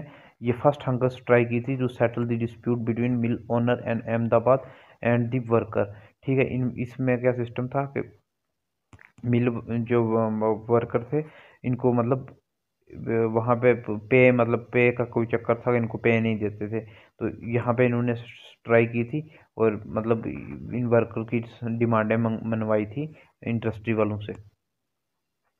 अब खेड़ा सत्याग्रह, इसको हम बोलते हैं फ़र्स्ट नॉन कॉपोरेशन मूवमेंट ये 1980 में हुई due to failure of crop यहाँ पे फेलियर ऑफ़ क्रॉप हो गए थे।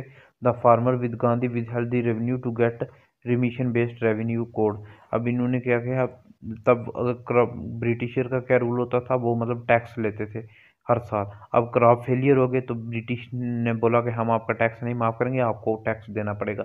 फिर क्या किया, गांधी जी फिर यहाँ पे स्ट्राइक पर बैठ के और इनने मतलब किसानों का वो टैक्स माफ़ करवाया। और ठीक है, फिर उसके बाद हुआ जलियांवाला बाग मैस्करे थर्टीन अप्रैल 1990 को। अब क्या था? जो मतलब रिवॉल्ट एक्ट आया था तो लोग डिससेटिस्फाई थे। रिवोल्ट एक्ट से मास एजिटेशन होते थे। A large but unarmed crowd gather हुई थर्टीन अप्रैल नाइनटीन नाइनटीन को अमृतसर, पंजाब में। क्या हुआ? वहाँ क्या हुआ? इन जलियांवाला बाग में प्रोटेस्ट कर रहे थे against the arrest of their popular leader Saifuddin Kitchlew and doctor Satyapal. अंग्रेज़ों ने क्या किया था कि डॉक्टर सत्यपाल और सैफुद्दीन किचलू को अरेस्ट कर लिया था। तो लोग इसी अरेस्ट के अगेंस्ट प्रोटेस्ट कर रहे थे पीसफुल तरीके से जलियांवाला बाग अमृतसर में। तो वहाँ पे क्या हुआ जनरल डायर आए, जो मिलिट्री कमांडर थे, अमृतसर उन्होंने डिसाइड किया terrorize the people of Amritsar into complete submission Jallianwala Bagh was a large open space which has enclose on three side and had a one exit general Dyer surrounded the Bagh close the exit with his troop and then order his man to shoot the crowd thousand were killed and wounded वहाँ general Dyer आए और जो जलियावाला बाग है, वो तीनों side से मतलब गिरा हुआ है। मतलब तीनों साइड से उसकी वॉल्स हैं और एक ही साइड से एग्जिट गेट था उसका। जनरल डायर ने पूरे उस जलियावाला बाग में चारों तरफ़ अपने सिपाही लगा दिए और उनको ऑर्डर दिया कि शूट कर दो इन सबको।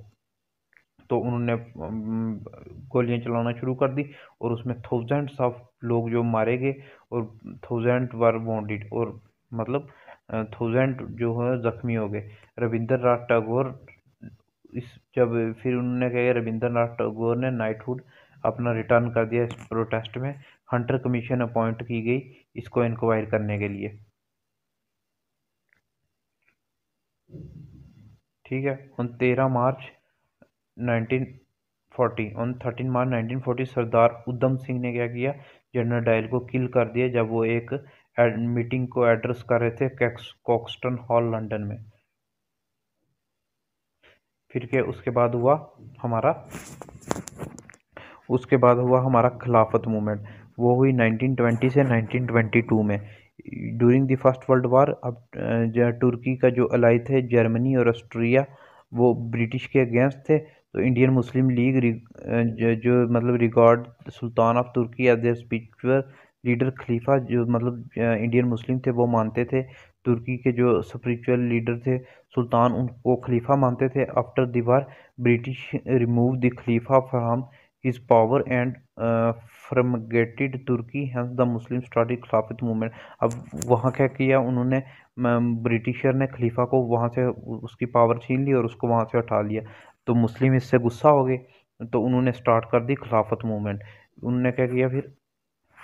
In, India for the restoration of Khalifa position उनने मुस्लिम लीग ने खिलाफत मूवमेंट स्टार्ट कर दी कि उनने ये डिमांड की कि हमारी, जो खलीफा है हमारा, उसको दोबारा पोजीशन वही दी जाए। तो लीडर बार कौन कौन से थे इसमें लीडर? अली ब्रदर्स थे, शौकत अली और मोहम्मद अली, मौलाना आज़ाद हकीम अजमल खान एंड हसरत मोहानी। इन्होंने खिलाफत मूवमेंट शुरू की थी। Gandhi seized an opportunity to bring about Hindu Muslim unity against British although C R Das oppose it initially अब गांधी जी ने सोचा कि अब यही हमारे पास मौका है हिंदू मुस्लिम यूनिटी लाने का मतलब इन दोनों को एक साथ एक ही मंच पे इकट्ठे करने का तो पहले सी आर दास ने इसको अपोज अपोज किया।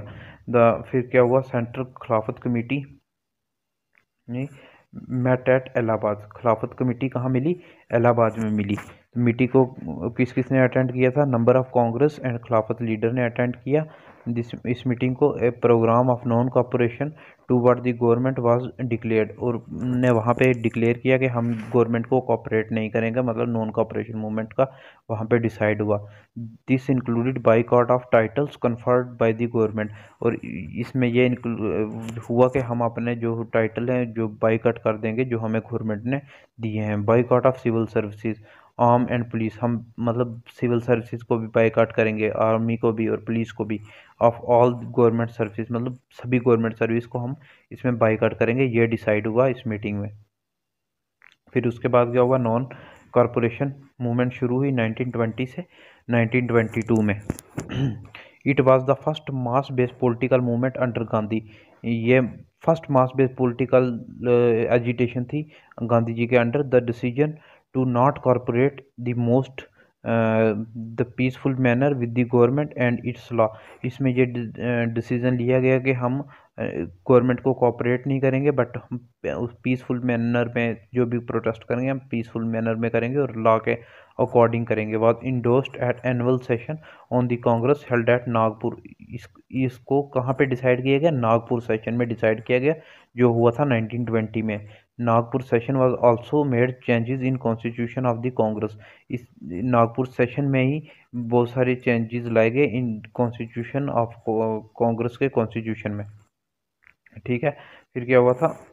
Anti Rowlatt agitation Jallianwala Bagh tragedy Khilafat movement general economic distress during and after the war after the war were reason for the non cooperation movement मतलब ये एंटी रिवॉल्ट एजिटेशन थी जो जलियाँ वाला बाग tragedy थी खिलाफत movement थी और general economic distress थी ये अब during the war during and after the war was the reason of यही इसके रीज़न थे नॉन कॉपोरेशन मूवमेंट के ठीक है the Tilak Swarajya fund started financing non cooperation movement Tilak के जो स्वराज्य फंड था जो क्रिएट किया था तिलक ने वो वो, वो फाइनेंस करता था नॉन कॉपरेशन मूवमेंट को the movement envisages boycott of school college law court foreign cloth and advocated the use of charkha और इस मूवमेंट ने क्या इन्विसेज किया कि हम बाइकआउट करेंगे स्कूल का कॉलेज का लॉ कोर्ट्स का फॉरेन क्लोथ का और उन्होंने एडवोकेट किया था कि चरखा यूज़ करो और अपने मतलब सूती कपड़े बनाओ। अब क्या हुआ? रेवोल्यूशनरी ऑर्गेनाइजेशन इन इंडिया कौन कौन सी थी? जैसे मित्र मेला थी थी जो फाउंड की गई 1899 में। अंशुलिन समिति थी 1902 में, अभिनव भारत थी 1906 में। ये इंपॉर्टेंट है, अभिनव भारत 1906 में। स्वदेश बंधव समिति थी, ये 1905 में। अंशुलिन समिति थी 1907 में। भारत माता सोसाइटी ये थी 1907 में। Hindustan Republic Association. ये 1924 में बनी थी। ये सब रेवोल्यूशनरी ऑर्गेनाइजेशन है, ठीक है? नौजवान सभा 1926 में बनी थी। और हिंदुस्तान सोशलिस्ट रिपब्लिक एसोसिएशन 1928 में। अब इनको बनाया किस, किसने था? जैसे मित्र मेला को सवारकर ब्रदर्स ने पूना में बनाया बनाया था। अंशुलिन समिति को ज्ञान ज्ञानेंद्र बोस ने, अभिनव भारत को वी डी सवरकर ने और स्वादेश बंदी समिति को अश्विनी कुमार दत्त ने, अंशुलिन समिति को, बरिंद्रा घोष एंड भूपिंद्रा दत्त ने ढाका में बनाया था। ठीक है, भारत माता सोसाइटी अजीत सिंह एंड अम्बा प्रसाद पंजाब में, हिंदुस्तान रिपब्लिक एसोसिएशन को, जोगेश चंद्र चैटर्जी और सचिंद्रनाथ सन्याल कानपुर में बनाया था। और नौजवान सभा को भगत सिंह ने लाहौर में और चंद्रशेखर आज़ाद ने बनाया था। हिंदुस्तान सोशलिस्ट रिपब्लिक एसोसिएशन को दिल्ली में। ये जो इसमें इम्पोर्टेंट है, मैं आपको अभी बता देता हूँ, आपको ये याद रखने पड़ेंगी। जैसे ये हो गया, अभिनव भारत हो गया, इसको आप करेंगे।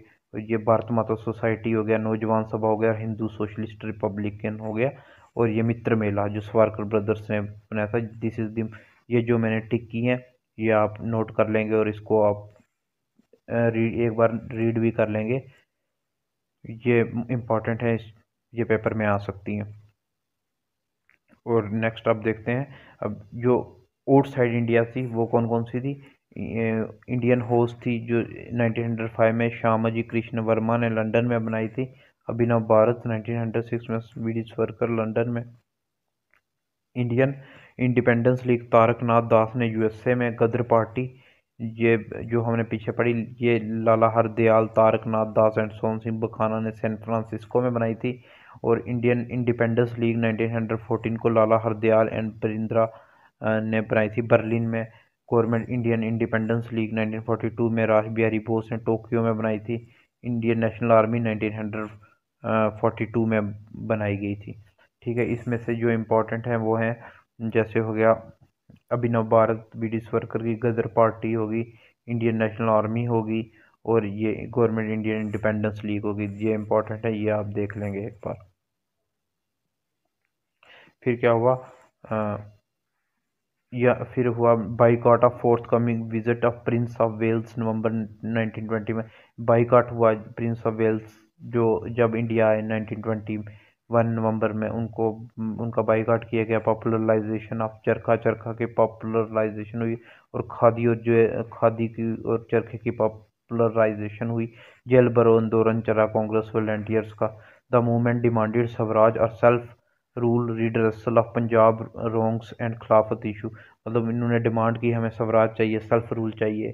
फिर रिड्रेसल हुआ पंजाब में जो गलत काम किए हुए जैसे जलियाँ बाग वगैरह हो गए और खिलाफत इशू का इसमें उठा।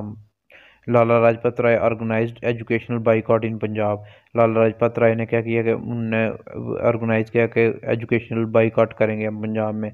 C R Das C, C Rajagopalachari Saifuddin Kitchlew B Patel Aruna Asaf Ali and Motilal Nehru give their legal practice इन्होंने अपना लीगल प्रैक्टिस छोड़ दी थी।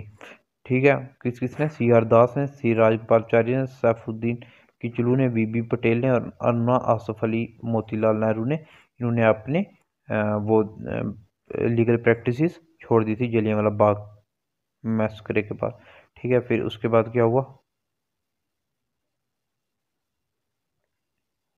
उसके बाद उसके बाद हुआ spread of non cooperation movement कहाँ कहाँ स्प्रेड हुई? United Provinces become a strong base for non cooperation movement United Provinces strong base बना नॉन कॉपरेशन मूवमेंट का। एग्रेरियन राइट्स हुए under leadership of Baba Ramchandra इनके अंडर एग्रेरियंस राइट हुए। इक्का movement चली अंडर मदारी पासी। इनके अंडर इक्का मूवमेंट चली। और बाबा रामचंद्र जी रामचंद्रा के अंडर अगेरियंस राइट्स हुए और पंजाब में क्या हुआ? अकाली मूवमेंट चली for, to reform and control of gurdwara. मतलब गुरुद्वारा को कंट्रोल करने के लिए और उसमें रिफॉर्म लाने के लिए एक अकाली मूवमेंट चली। फिर उसके बाद क्या हुआ? आंध्र प्रदेश में क्या हुआ the non cooperation movement was great success. Andhra Pradesh में नॉन कॉपरेशन को, मूवमेंट को ग्रेट मतलब success milli. Alluri Sitarama Raju organize tribal in Andhra and combine their demands with those of the non cooperation movement. मतलब जो थे अलूरी सीताराम राजू, उन्होंने tribals को organise किया आंध्रा में और उनकी जो डिमांडें थी उनको कंबाइन किया नॉन कॉपरेशन मूवमेंट के साथ। फिर फिर the Swarajist major development in the Indian politics occur during 1922 and 28 इसमें बहुत बड़ी डेवलपमेंट हुई डिफरेंसेस रोज अमोंग लीडर्स मतलब लीडर्स के अमोंग डिफरेंसेस पैदा हुए after the withdrawal of non cooperation movement जब नॉन कॉपोरेशन मूवमेंट को विड्रॉ कर दिया गया था one school of thought headed by C R Das and Motilal Nehru मतलब इस दो दड़ों में यहाँ भी बटे। लीडर्स एक को हेड कर रहे थे सी आर दास और मोतीलाल नेहरू इनको हम advocated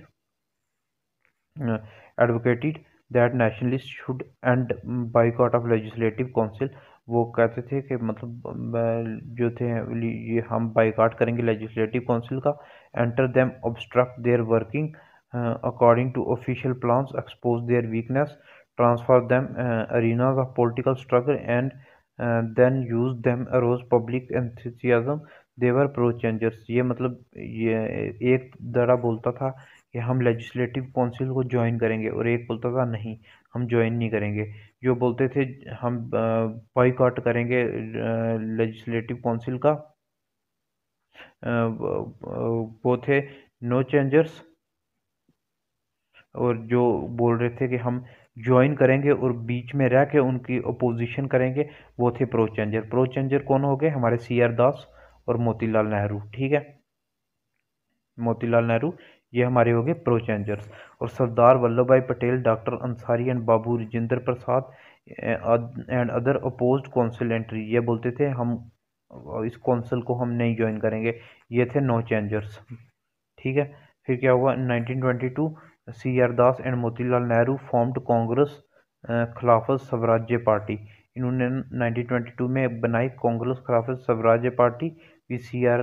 Das as a president और सी. आर. दास को प्रेसिडेंट बनाया and Motilal Nehru as secretary Motilal Nehru उसके सेक्रेटरी बने। It work with in the Congress.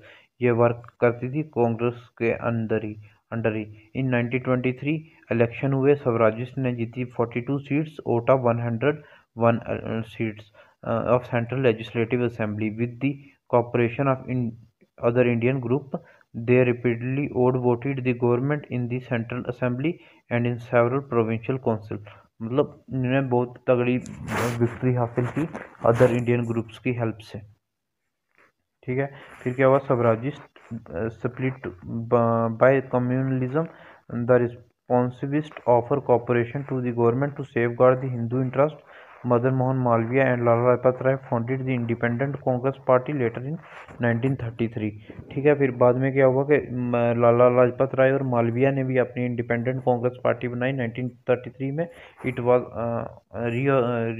recognise Congress nationalist party इसको रिकोगनाइज किया गया कांग्रेस नेशनलिस्ट पार्टी में. और फिर क्या हुआ? उसके बाद 1927 में आया Simon commission in 1927 British government appointed the Indian statutory commission. British government ने एक अपॉइंट किया इंडियन स्टैचूटरी कमीशन, जिसको हम बोलते हैं साइमन कमीशन। इसके जो चेयरमैन थे वो साइमन थे। To go into the question of further constitutional reform, वो यहाँ पे आए थे। मतलब एक क्वेश्चन के साथ कि हम यहाँ पे कॉन्स्टिट्यूशनल रिफॉर्म करेंगे। The committee had to review the working of dyarchy system. Committee ये क्या यहाँ पे करने आई थी? ये डीआरकी सिस्टम को देखने आई थी। Introduced by Montagu Chelmsford reform in 1919 जो इंट्रोड्यूस किया था चलमस फॉर रिफॉर्म में 1990 में। And to report what extent representative government can be introduce in India ये देखने आए थे कि हम मतलब कितने एक्सटेंट तक रिप्रेजेंटेटिव गवर्नमेंट हम इंट्रोड्यूस कर सकते हैं इंडिया में। All the member of the commission were white मतलब सारे ब्रिटिशर्स थे। ठीक है?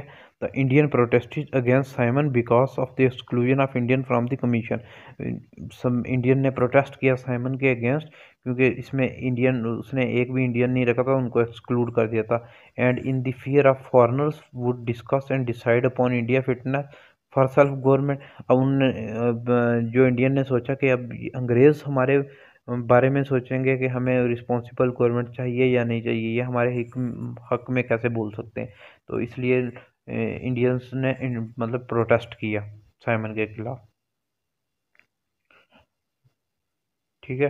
तो the national Congress decided boycott commission in its Madras session 1927 और इंडियन नेशनल कांग्रेस ने डिसाइड किया कि हम बाईकाट करेंगे कमीशन का मद्रास सेशन 1927 में, जिसको प्रोसाइड किया था डॉक्टर अंसारी ने। Muslim league and Hindu Mahasabha decided to support the Congress Muslim league और हिंदू महासभा ने भी डिसाइड किया कि हम सपोर्ट करेंगे कांग्रेस को। ठीक है?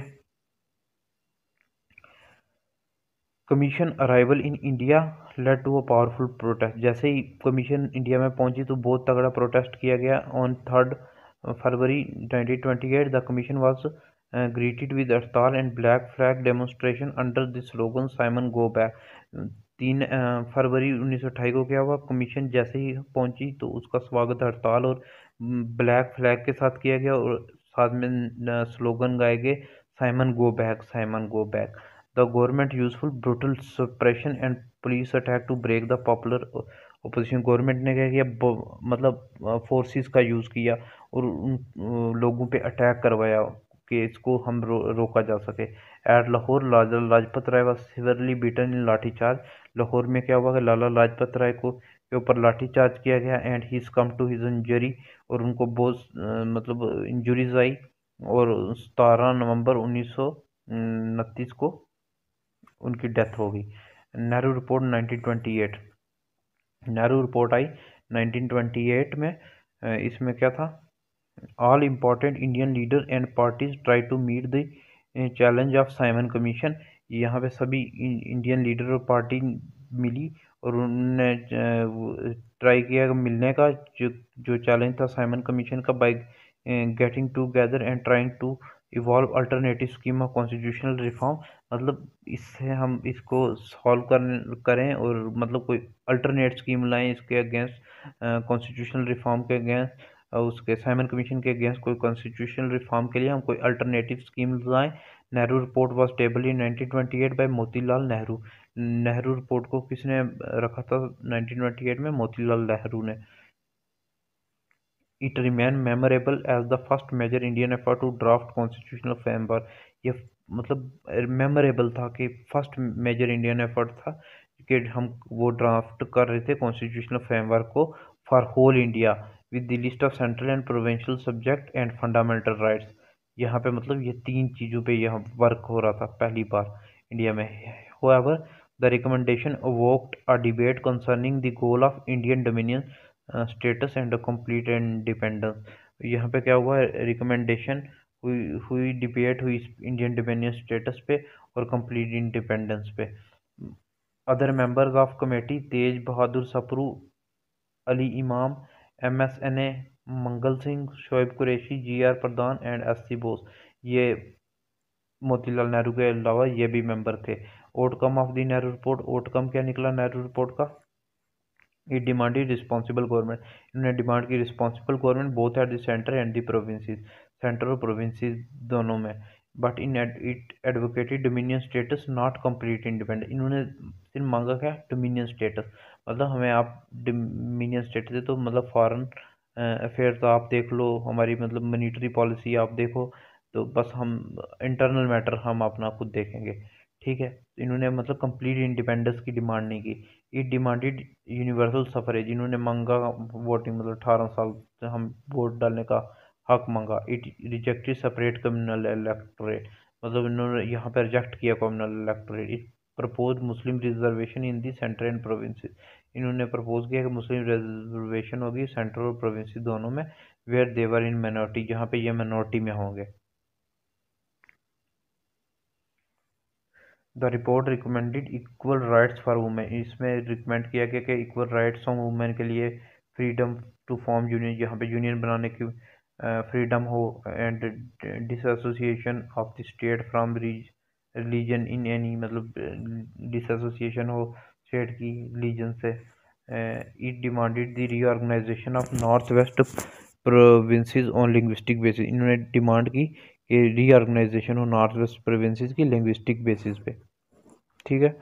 फिर उसके बाद क्या हुआ? उसके बाद आया जिन्ना फोर्टीन पॉइंट फार्मूला। ये आया था नाइन, मार्च 1929 को। जिन्ना जो थे मुस्लिम लीग के लीडर थे इन्होंने एक्सेप्ट नहीं किया नेहरू रिपोर्ट को और इसमें से इन्होंने अपना चौदह डिमांड रखी which become famous as fourteen point formula of Jinnah. ठीक है, इसको बाद में फ़ेमस हुआ किस नाम से? फोर्टीन पॉइंट फार्मूला के नाम से। इसी फोर्टीन पॉइंट फार्मूले में था कि मतलब पाकिस्तान की डिमांड भी इसी इसी फार्मूले में ही थी। लाहौर सेशन 1929 में हुआ। This session was presided by Jawaharlal Nehru इस सेशन को किसने प्रोसाइड किया था? जवाहरलाल नेहरू ने। Come back to active politics by that time फिर इन्होंने कम बैक किया था एक्टिव पॉलिटिक्स में। Draw in talk broke down issue of dominion status उन्होंने शुरू की बात और इशू इस डोमिनियन स्टेटस के इशू पे which the British was reluctant to give जो कि ब्रिटिशर्स देना नहीं चाहते थे session past resolution of Purna Swaraj इस, यहाँ पे सेशन में क्या हुआ था कि पास किया गया था? Resolution of Purna Swaraj complete independence as ultimate goal मतलब अब इनका क्या गोल था? डोमिनियन स्टेटस से अब ये आगे थे कंप्लीट इंडिपेंडेंस पे। उसके बाद क्या हुआ? On thirty first December 1925 the newly adopted tricolour were hoisted 1929 को ट्राई कलर होस्ट किया गया। 26 January 1930 was fixed as first independence day इस 26 जनवरी 1930 को फिक्स किया गया कि फ़र्स्ट इंडिपेंडेंस डे को The Congress session also announced a civil disobedience movement under the leadership of Mahatma Gandhi और इसी सेशन में डिसाइड किया गया सिविल डिसोबीडियंस जो होगा महात्मा गांधी के under Congress decided boycott the first round table conference Congress ने रिजेक्ट कर दी first table round table conference फिर क्या हुआ? उसके बाद सिविल डिसोबीडियंस मूवमेंट स्टार्ट हो गया 1935 में. Before entering civil disobedience movement Gandhi ji placed an eleven point ultimatum before Irwin Gandhi ji ने सिविल डिसोबीडियंस स्टार्ट करने से पहले एक अल्टीमेटम रखा अलेवन पॉइंट का इरविन के सामने for administrative reform administrative reform के लिए and stated that if lord Irwin accept them then there will be no agitation और कहा, अगर ये इरविन लॉर्ड इरविन ये एक्सेप्ट कर लेंगे तो फिर कोई एजुटेशन नहीं होगा. फिर क्या हुआ उसके बाद?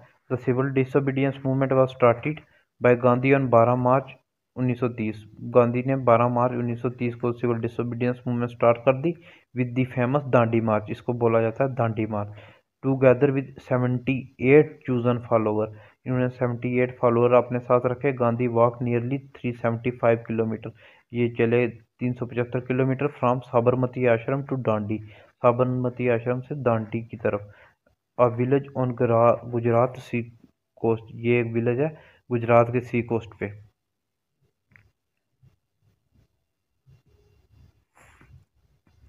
फिर salt production had geographical limitation. वहाँ पे क्या था कि सॉल्ट प्रोडक्ट अंग्रेज़ लोग सॉल्ट की प्रोडक्शन नहीं करने देते थे। So in other part of the country the movement included picketing of liquor shops and option row revenue campaign in Bardoli in defence of रस्टला in Maharashtra Karnataka and central province refusal of chowkidari tax in eastern India prabhat pheris singing of national song अब मतलब बाकी जगह पे ये ये agitation चल रही थी तो वहाँ पे ये सॉल्ट प्रोडक्शन की एजिटेशन थी दांडी में तो इन्होंने यहाँ पे क्या किया था सॉल्ट लॉ को ब्रेक किया था। मतलब यहाँ पे सॉल्ट लॉ को ब्रेक करने के लिए ये मूवमेंट चलाई थी civil disobedience movement the notable feature of movement was the wide participation of women इसको बहुत तादाद में वुमेन ने ज्वाइन किया था। अब, इस स्प्रेड कहाँ कहाँ हुआ सिविल डिसोबीडियंस मूवमेंट पेशावर में under leadership of Khan Abdul Ghaffar Khan popularly known as frontier Gandhi. Peshawar में ये चली किसके अंडर खान, अब्दुल गफ़ार खान, जिनको फ्रंटियर गांधी भी बोला जाता है, the Pathan organise society of Khudai Khidmatgar.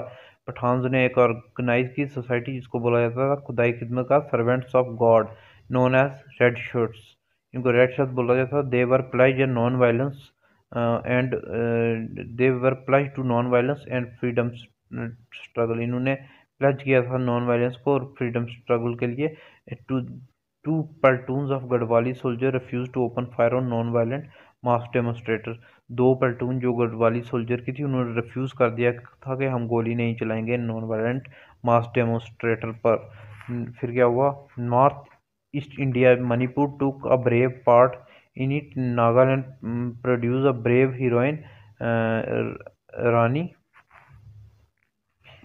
Gaidinliu मतलब ये कहाँ से थी? ये नागालैंड से थी। Who at the age of thirty responded to a call of Gandhi जिन्होंने मतलब गांधी कॉल पे रिस्पॉन्ड किया था। The young Rani was captured in 1932 इसको कैप्चर कर लिया। 1932 को and sentence to life imprisonment और इसको उम्र कैद की सजा देगी। She was release only after the independence of India ये कब इनको रिलीज़ किया गया? जब इंडिया की इंडिपेंडेंस हुई। Chittagong armoury raided Surya Sen in 1930 Chittagong armoury पर रेड डाली थी किसने? सूर्य सेन ने 1930 में। दारा सेना ए raid of Dharasana salt work was led by Sarojini Naidu. Dharasana salt work किसने लेड किया था? सरोजनी नायडू ने। इमाम साहब एंड मानिक लाल गांधी, इन्होंने इनके साथ मिलकर रेड किया था दारा सेना सॉल्ट वर्क पे। मद्रास में क्या? Lala Rajagopalachari led a march from Trichinopoly to weather, Vedaranyam. या इन्होंने यहाँ पे चलाई थी त्रिचनुपल्ली से Vedaranyam along with the Coromandel coast in Kerala K Kelappan march from Calcutta to Payyanur ये के कलपन ने कहाँ से मार्च किया था? कैलिकट से पन्यूर तक मार्च किया था। The government adopted ruthless repression government ने अडॉप्ट किया मतलब रूथलेस रिप्रेशन लाठीचार्ज किया फायरिंग की unarmed crowd of man and women पे। Our 90,000 satyagraha including Gandhi ji and Congress leader पर इम्प्रेजन इनको जेल में डाल दिया गया। कांग्रेस वर डिक्लेयर्ड इलीगल यहाँ पे तब फिर कांग्रेस को क्या घोषित कर दिया गया? इलीगल डिक्लेयर कर दिया गया। Mean the British government summon the first round table conference in London 1930 इन्होंने समन किया। फ़र्स्ट राउंड टेबल कॉन्फ्रेंस 1930 को discuss Simon commission report Simon commission की रिपोर्ट को डिस्कस करने के लिए but the national Congress boycotted the conference and proceeding proved abortive यहाँ पे कांग्रेस ने जाने से इनकार कर दिया तो इसका मतलब कोई रिज़ल्ट नहीं निकला फ़र्स्ट राउंड टेबल कॉन्फ्रेंस का।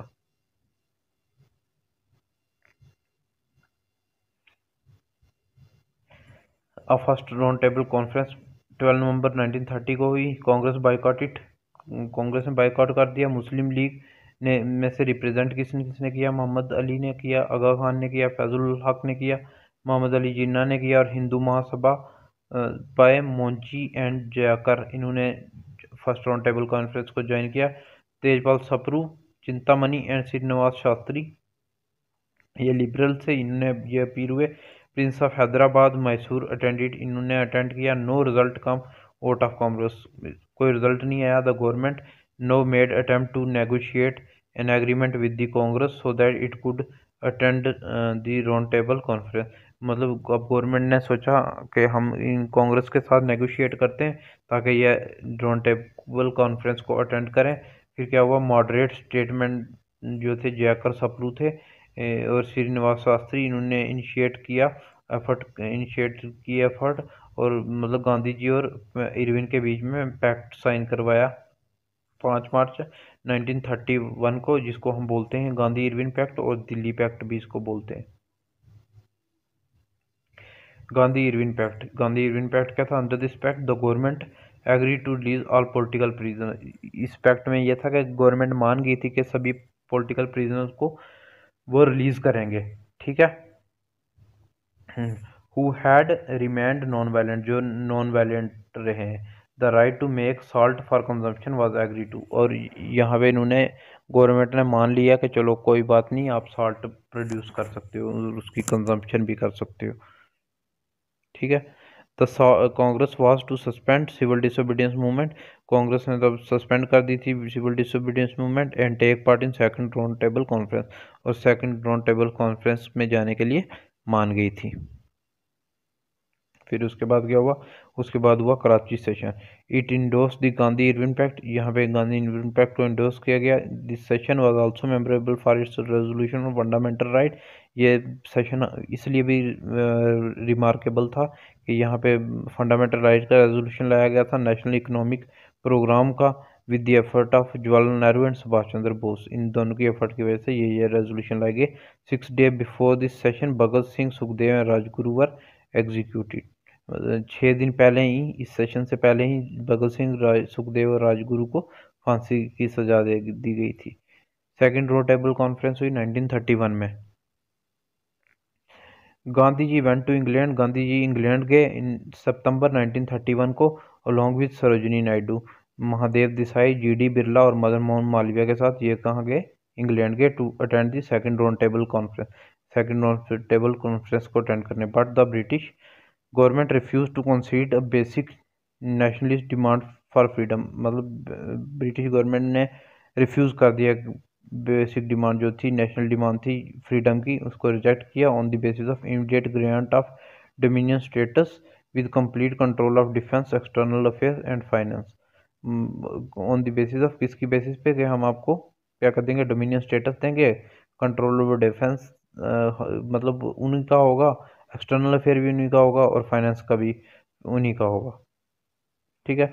On his return Gandhi resume the civil disobedience in 1932 फिर गांधी जी ने फिर स्टार्ट कर दी थर्टी टू में civil disobedience and finally withdraw it 1934 और 1934 में विड्रा कर ली। फिर क्या हुआ? 1932 में पूना पैक्ट हुआ। जिसको बोलते हैं communal award M MacDonald announce proposal of minority representation known as communal award in 1932 Ramsay MacDonald ने कॉमनल अवार्ड दिया 1932 में। Under this depressed classes Muslim Sikhs Indian Christian Anglo Indian women and backward classes were to be consider as minority इनको consider कर लिया minority में would be entitle to right of separate electorate इनको separate electorate का right दे दिया। Gandhi reacted strongly to the proposal Gandhi ने बड़ा ज़बरदस्त रिएक्शन रिएक्शन दिया। He consider the depressed classes as the integral part of Hindu society उन्होंने consider किया कि जो ये डिप्रेस क्लासेस हैं, ये इंटेग्रल पार्ट है हिंदू सोसाइटी का। फिर उसके बाद he thought that there was no need to protect the depressed classes उन्होंने बोला कि इस, कोई ज़रूरत नहीं है इनको प्रोटेक्ट करने की। To representation rather the need was the eradicate untouchability मतलब उनने बोला इस, इनको प्रोटेक्ट करने की ज़रूरत नहीं है ज़रूरत यह है कि हम रेडिकेट करें अनटचेबिलिटी को। Gandhi resort to fast unto death in चढ़वाला jail Pune Gandhi ने अब मतलब बोला कि अब मैं, तब तक फास्ट रहूँगी, जब तक मेरी डेथ नहीं हो जाती। यारवाड़ा जिल पुणे में against this separate electorate for depressed classes. Depressed classes के सेपरेट इलेक्टोरेट के लिए उन्होंने ये फास्ट रखा। Which Ambedkar was insisting on the resulted into Poona pact between Gandhi and Ambedkar on 25 September 1932 Gandhi और अंबेडकर के बीच में ये पैक्ट हुआ 25 सितंबर 1932 को। में 147 सीट पर allotted to depressed classes in provincial legislature and seventy one provided to communal award ठीक है? ये one forty seven seat allot की गई डिप्रेस क्लासेस के लिए और प्रोविंशियल लेजिस्लेचर में as against कत्तर provided by the communal award seventy one को प्रोवाइड की गई थी कॉमनल अवार्ड के through the pact also call the advocate representation of depressed classes in civil services मतलब यहाँ पे भी इनको रिजर्वेशन दी गई। Gandhi ji coined word Harijan for depressed classes Gandhi ji ने इनके लिए वर्ड दिया हरिजन डिप्रेस क्लासेस के लिए and their upliftment become is prime concern अब उन्होंने ये सोच लिया कि अब इनकी अपलिफ्टमेंट ही उनका कंसर्न है प्राइम कंसर्न है. All India anti untouchability league was started in September 1932 ये अनटचेबिलिटी लीग स्टार्ट की गई सितंबर 1932 में. On eighth May 1933 Gandhi decided to begin इक्की day fast for self purification of Harijan caste उन्होंने डिसाइड किया किस दिन का फास्ट रखेंगे for purification of Harijan cause के लिए, एट्थ मई 1933 को। ठीक है? फिर उसके बाद क्या हुआ? उसके बाद हुआ impact of civil disobedience movement इसका क्या इम्पैक्ट हुआ? Congress swept poll in most provinces in 1937 मतलब कांग्रेस ने अपने मतलब इलेक्शन में सब स्वेफ्ट कर दिया मतलब साफ़ कर दिया बाकियों को बहुत सारी सीटें।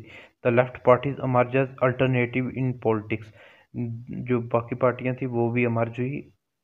कांग्रेस का अल्टरनेटिव जैसे हो गया पॉलिटिक्स में। Some Congress activist were formed socialist group कुछ कांग्रेस ने एक्टिविस्ट ने क्या बनाया? सोशलिस्ट ग्रुप बनाए। Nehru and Subhash Chandra Bose emerge as leader तब नेहरू और सुभाष चंद्र बोस लीडर के रूप में अमर्ज हुए ठीक है? फिर उसके बाद क्या हुआ? उसके बाद हुआ थर्ड राउंड टेबल कॉन्फ्रेंस ये कहाँ पे हुआ? 1932 में लंदन में हुआ the Congress did not participate Congress ने पार्टिसिपेट नहीं किया। Discussion the discussion led to government of India act 1935 उसके बाद इन, क्या हुआ? इंडिया एक्ट 1935 आया। ठीक है? इसमें क्या कहा गया? अब वो देखते हैं। Government of India act 1935 The discussion of third roundtable conference and Simon Commission report eventually led to passing out of Government of India Act 1935. अब थर्ड राउंड टेबल कॉन्फ्रेंस में साइमन कमीशन की रिपोर्ट और जो eventually lead pass of मतलब उसके बाद इस report को डिस्कस जो वहाँ डिस्कशन हुई और उसके बाद क्या किया गया कि 1935 का गवर्नमेंट ऑफ़ इंडिया एक्ट लाया गया the act provided for establishment of all India federation ये एक्ट किसके लिए था कि हम ऑल इंडिया फेडरेशन एस्टेब्लिश करेंगे। And new system of government for the provinces on the basis of provincial autonomy एक new system of government provinces के लिए होगी किस बेस पे होगी प्रोविंशियल ऑटोनॉमी के बेस पे होगी। मतलब प्रोविंसेस को हम ऑटोनॉमी दे देंगे। It abolish the council of India establish by government of India act 1850 इन्होंने अबॉलिश कर दी काउंसिल ऑफ़ इंडिया मतलब काउंसिल को अबॉलिश कर दिया, जो इन्होंने दी थी गवर्नमेंट ऑफ़ इंडिया एक्ट 1858 में। The act provided for federal court and federal bank इस एक्ट में फेडरल कोर्ट और फेडरल बैंक के बारे में प्रोवाइड किया गया। द कांग्रेस रिजेक्टेड 1935 कांग्रेस ने रिजेक्ट किया 1935 and demanded convening of a constitutional assembly elected on basis of adult franchise उन्होंने कहा कि हमें कॉन्स्टिट्यूशन असेंबली चाहिए, जो कि किस बेसिस पे होगी? अडल्ट फ्रेंचाइजी के बेस पे होगी, जो फ्रेम करेगी constitution of independent India independent India के लिए जो कॉन्स्टिट्यूशन को फ्रेम करेगी। फिर क्या हुआ? फिर हुई, उसके बाद शुरू होगी second world war lord Linlithgow को थे जो डिक्लेयर किया, जो इंडिया को वो भी मतलब पार्ट है वार का। Without prior assent of central legislature central legislature के पर असेंट के बिना ही उन्होंने डिक्लेयर कर दिया इंडिया को वार में। The Congress ministry resign in the wake of war Congress ministry ने रिजाइन कर दिया। Congress agree to support Britain Congress बोल रही थी कि हम एग्री करेंगे, तब ब्रिटेन को सपोर्ट करेंगे, जब वो हमें इंडिपेंडेंस ग्रांट करेंगे। तब वाइस राय ने प्रॉमिस किया कि ये हम तभी करेंगे जब वार के बाद। अक्टूबर, नवंबर 1939 में कांग्रेस मिनिस्ट्री ने रिज़ाइन कर दिया, प्रोटेस्ट में। द मुस्लिम लीग ने ऑब्ज़र्व किया दिन को डेलीवरेंस डे, बाईस दिसंबर उन्नीस सौ उनतालीस को इन्होंने मनाया deliverance day. The satyagraha was kept limited so as to embarrass Britain war effort by mass approval in India ठीक है? फिर the viceroy refuse to accept pre condition viceroy ने मना कर दिया प्री कंडीशन एक्सेप्ट करने का। Constitute assembly for establishment of responsible government at centre but the British government desperately wanted to the active cooperation of Indian in the war इन्होंने reject तो कर लिया, पर ये चाहते थे कि इंडियंस हमारी वार में हेल्प करें। ठीक है? To secure this cooperation it India send to India in March 1952 a mission headed by a cabinet minister sir stafford cripps and before that August offer इन्होंने क्या किया? ये कॉपरेशन इंडिया की चाहते थे। इन्होंने 42 में एक मिशन भेजा कैबिनेट मिशन भेजा, जो अंडर सर स्टैफर्ड क्रिप्स के। बट उससे पहले इन्होंने एक अगस्त ऑफ़र दिया। वो अगस्त ऑफ़र क्या था? वो देखते हैं। अगस्त ऑफ़र दिया जी। इन्होंने 1940 में तब वाइस राय वही थे लिंगलित को पुट फॉरवर्ड प्रपोजल इंक्लूडिंग इसमें बोला, हम आपको डिमीनियन स्टेटस देंगे ठीक है पोस्ट वार बॉडी इनेक्ट करेंगे कॉन्स्टिट्यूशन के लिए expansion of governor general council with representation of minorities हम एक्सपेंड करेंगे गवर्नर जनरल की काउंसिल को और उसमें माइनॉरिटीज़ को भी देंगे सीटें establishment of war advisory council war advisory council establish करेंगे Congress rejected this offer as there was no suggestion of national government Muslim League accepted Congress ने तो रिजेक्ट किया कि उन्होंने बोला कि इसमें कोई नेशनल गवर्नमेंट की बात ही नहीं की गई। मुस्लिम लीग ने इसको एक्सेप्ट किया। फिर क्या हुआ? Individual satyagraha. Congress rejected the August offer because Congress was convinced that British would not modify their policy in India वो जानते थे कि ब्रिटिश नहीं मॉडिफाई करेगी पॉलिसी इंडिया के against Gandhi decided to start individual satyagraha in September 1940 Gandhi ने decide किया कि हम सत्याग्रह करेंगे इंडिविजुअल सत्याग्रह करेंगे ninety five Vinod Bhave was the first to offer individual satyagraha Vinod Bhave जो फ़र्स्ट थे जिन्होंने इंडिविजुअल सत्याग्रह किया उसके बाद जवाहरलाल नेहरू और ब्रह्मादत्त ने किया दिल्ली चलो मूवमेंट शुरू की गई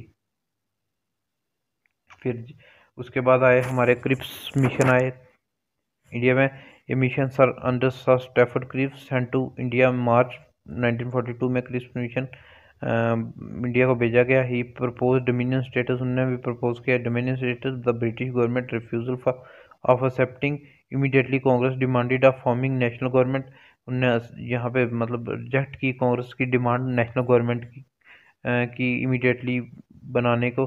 Was the cause of failure of this mission यही कॉज था कि ये मिशन भी फेल रहा। Constitutional proposal of Cripps mission क्या थे? हम आपको डोमिनियन स्टेटस देंगे वार के बाद कॉन्स्टिट्यूशनल बॉडी बनाएँगे प्रोविंशियल असम्बलीज के लिए नॉमिनेट करेंगे रूलर उनको in case of princely state individual princes would sign a separate agreement with British individual prince sign करेंगे सेपरेट एग्रीमेंट ब्रिटिशर के साथ। British would however control the defence of for war period British control करेगी। Defence को war period के लिए, the British government under to accept and implement the constitution of to condition British government accept करे और implement करेगी constitution दो condition में। जब कोई भी प्रोविंस अनविलिंग होगी कॉन्स्टिट्यूशन एक्सेप्ट करने में, उसको एक सेपरेट यूनियन बना दिया जाएगा या उसको सेपरेट कॉन्स्टिट्यूशन दिया जाएगा। और जो न्यू कॉन्स्टिट्यूशन मेकिंग बॉडी होगी the British government would negotiate a treaty sort out matter rising out of transfer of power उनके साथ शॉर्ट आउट किया जाएगा मैटर और जो होगा, वो ट्रांसफ़र की जाएँगी पावर इंडियन के हैंड में। गांधी जी ने इसको बोला a post dated cheque in crashing bank दो Cripps proposal failed but it provide legitimacy to the demand for Pakistan by accommodating it in the provision of provincial autonomy ये fail तो हो गया, पर यहाँ पे इन्होंने क्या किया, एक लेजिटिमेसी दे दी डिमांड फॉर पाकिस्तान को, ठीक है? फिर इसके बाद क्या हुआ? इसके बाद हुआ 1942 में क्विट इंडिया मूवमेंट अब all India Congress committee met at Bombay 8 August 1942 को ऑल इंडिया कमेटी कहाँ मिली? बॉम्बे में मिली। बॉम्बे में मिली it pass, the famous quit India resolution and protest of start non violent mass struggle under Gandhi leadership. अब यहाँ पे decide हुआ कि क्विट इंडिया हम मतलब नॉन वायलेंट मास स्ट्रगल होगा ये गांधी के लीडरशिप में। इसको कहा गया वर्दा प्रपोजल और लीडर रेस रिवोल्ट कहा गया। Gandhi told the British to quit and leave India in God's hand. His message was do or die Gandhi ने ब्रिटिशर को कहा कि क्विट कर दो इंडिया और क्विट करो इंडिया को और इंडिया को भगवान के भरोसे छोड़ दो, भगवान के हाथ छोड़ दो और यहाँ पे इन्होंने मैसेज दिया डू और डाई करो या मरो। Regressive policy of government was indiscriminate arrest of leader provoked people to violence अब यहाँ पे क्या हुआ रिप्रेसिव पॉलिसी यूज़ की गई ब्रिटिशर्स के द्वारा और सभी लीडर्स को जेल में डाल दिया गया, जो प्रवोक करते थे लोगों को वायलेंस के लिए। नेहरू को लॉन्च किया गया अल्मोरा जेल में, मौलाना आज़ाद को बंकूरा में और गांधी को आगा खान पैलेस, पूना में। In many areas government lost control and people establish swaraj parallel government were establish अब कई जगह पे पैरलर गवर्नमेंट भी चलने लगी। कहाँ कहाँ पे चली वो देखते हैं। सतारा में प्रति सरकार व सेप्ट up under Nana Patil and Ballia में अंडर चिट्टू पांडे और other were in culture Bihar in Bengal Tamluk, Jatiya Sarkar function इन मिदनापुर। ये यहाँ जहाँ पे पैरेलल गवर्नमेंट चलनी बनना शुरू हो गई under underground revolutionary activity also started underground revolutionary activities भी शुरू हो गई, जैसे Jayaprakash Narayan and Ramanandan Mishra escaped from Hazaribagh jail and organized underground movement वो वहाँ से हज़ारीबाग जेल से भाग गए और अंडरग्राउंड मूवमेंट ऑर्गेनाइज की। In Bombay the socialist leader continue underground activities under leaders like Aruna Asaf Ali Congress radio was establish with Usha Mehta. यहाँ पे क्या हुआ कि अंडरग्राउंड रेडियो भी चलना शुरू हो गया। इसके अंडर, उषा मेहता के अंडर, जो इसकी अनाउंसर थी and Ram Manohar Lohia in Bihar. School and college student women actively participate ये ये स्कूल और कॉलेज के स्टूडेंट और वुमेन्स में पार्टिसिपेट करते हैं। Worker were sent on strike worker को स्ट्राइक पे भेजा जाता है there were no communal clashes during this movement और इस मूवमेंट में कम्युनल क्लैशेस नहीं हुए, ठीक है? The merchant community and capitalist did not participate इन्होंने पार्टिसिपेट नहीं किया Muslim League kept aloof and the Hindu Mahasabha condemn the movement Muslim League ने किनारा कर लिया यहाँ से और हिंदू महासभा ने भी इसको कंडेम्ड किया। Communist party did not support the movement communist party ने भी इसको सपोर्ट नहीं किया। Rajagopalachari also did not support Rajagopalachari ने भी इसको सपोर्ट नहीं किया। और demand for Pakistan. 1930 Mohammad Iqbal first time suggest किया था। Frontier province Sindh, Baluchistan and Kashmir be M made Muslim state within the federation. इनको मुस्लिम स्टेट बना दिया जाए और फेडरेशन के अंडर चौधरी रहमत अली ने इसको टर्न दिया था पाकिस्तान। ठीक है? The fear of Muslim subjected by Hindu in free India was realized by Jinnah and demanded for Pakistan creation of Pakistan. अब इनको फियर था कि मुस्लिम जो हैं यहाँ पे मतलब इंडिया में हिंदूज के बीच में नहीं रह सकते, इसलिए इन्होंने को सोचा कि हम अपना एक अलग देश बनाएँगे, जिसको हम बोलेंगे पाकिस्तान, ठीक है? Pakistan resolution Muslim League first pass by the proposal of separate Pakistan Lahore session 1940 Muslim League ने 1940 में ये रेजोल्यूशन पास कर दिया। पाकिस्तान का call Jinnah two nation theory और इसको जिन्ना टू नेशन थ्योरी का नाम दिया गया। It was drafted by Sikandar Hayat Khan. इसको सिकंदर हयात खान ने ड्राफ्ट किया। फजल हक ने इसको मूव किया था और सेकेंडेड बाय खान कुजमान इसको और इसको उसने खाली कुजमान ने इसको सेकेंडेड किया था। It rejected the federal scheme in in the government of India act nineteen thirty five और इसमें रिजेक्ट किया गया फेडरल स्कीम जो दी गई थी Indian government of India act nineteen thirty five में। दिसंबर नाइनटीन फोर्टी थ्री में कराची सेशन जो हुआ, उसमें मुस्लिम लीग ने अडॉप्ट किया स्लोगन डिवाइड एंड क्विट हमें डिवाइड करो और यहाँ से चले जाओ क्विट कर दो। Gandhi ji fast ten February से लेकर सेवन मार्च 1943 गांधी ने फास्ट रखा। गांधी जी अंडर टू का इक्की day fast condemning the violence of people during the quit India movement condemn किया जो उन्होंने वायलेंस किया था ड्यूरिंग क्विट इंडिया मूवमेंट फिर राजगोपालचार्य फार्मूला आया 1944 में, इसको बोला जाता है Rajagopalachari formula Rajagopalachari propose a commission could be appointed demarcating district in the north west and east इन्होंने डिमार्केट किया नॉर्थ वेस्ट और ईस्ट की डिस्ट्रिक्स को, where Muslim were in absolute majority, जहाँ पे मुस्लिम मेजोरिटी थे कहा plebiscite would be held on the basis of adult suffrage.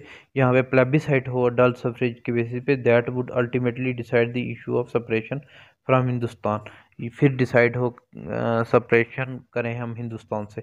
It majority decide favour of forming a separate sovereign state and then such अगर uh, अगर कोई state sovereign मतलब sovereign आज़ादी चाहती है तो उसको वो एक्सेप्ट की जाए। ठीक है? Jinnah objected this as he wanted Congress to accept two nation theory Jinnah ने इसको रिजेक्ट किया और उस वो चाहते थे कि कांग्रेस टू नेशन थ्योरी को एक्सेप्ट कर ले and wanted only Muslim of north west and east to vote in the plebiscite और वो चाहते थे कि सिर्फ़ नॉर्थ वेस्ट और ईस्ट के मुस्लिम ही इस प्लेबिसाइड में वोट करें। Desai Liaquat pact reach no settlement between League and Congress Desai Liaquat pact इस नतीजे पे पहुँचा कि दोनों कांग्रेस और मुस्लिम लीग में कोई सेटलमेंट नहीं हुई। फिर उसके बाद क्या हुआ? उसके बाद आया शिमला कॉन्फ्रेंस शिमला कॉन्फ्रेंस में क्या था? इसको वेवल प्लान भी बोलते हैं नाइनटीन फोर्टी में। इसको प्रपोज किया था लॉर्ड वेवल ने। इन्होंने सजेस्ट किया था new executive council with only Indian member इन्होंने सजेस्ट किया था कि हम न्यू एग्जीक्यूटिव काउंसिल सेट कब करेंगे, जिसमें सिर्फ़ इंडियन मेंबर्स होंगे। The viceroy and commander in chief would be the only non Indian member of the council सिर्फ़ जो वाइस राय और कमांडर इन चीफ होंगे, वही दो नॉन इंडियन मेंबर होंगे। It would work under the existing constitution ये work करेंगे existing constitution के under but the door was open for discussion of new constitution but दरवाजे न्यू कॉन्स्टिट्यूशन की डिस्कशन के लिए भी खुले ही हुए हैं। Hindu and Muslim would have equal representation और हिंदू और मुस्लिम की इक्वल रिप्रेजेंटेशन होगी Jinnah demanded the Muslim League to have absolute choice in choosing Muslim member Jinnah ने डिमांड किया कि मुस्लिम लीग को एब्सोल्यूट चॉइस दीजिए कि वो मुस्लिम मेंबर को चूज़ करे। So he rejected the plan Muslim League ने इस प्लान को रिजेक्ट कर दिया। अब क्या हुआ? Indian National Army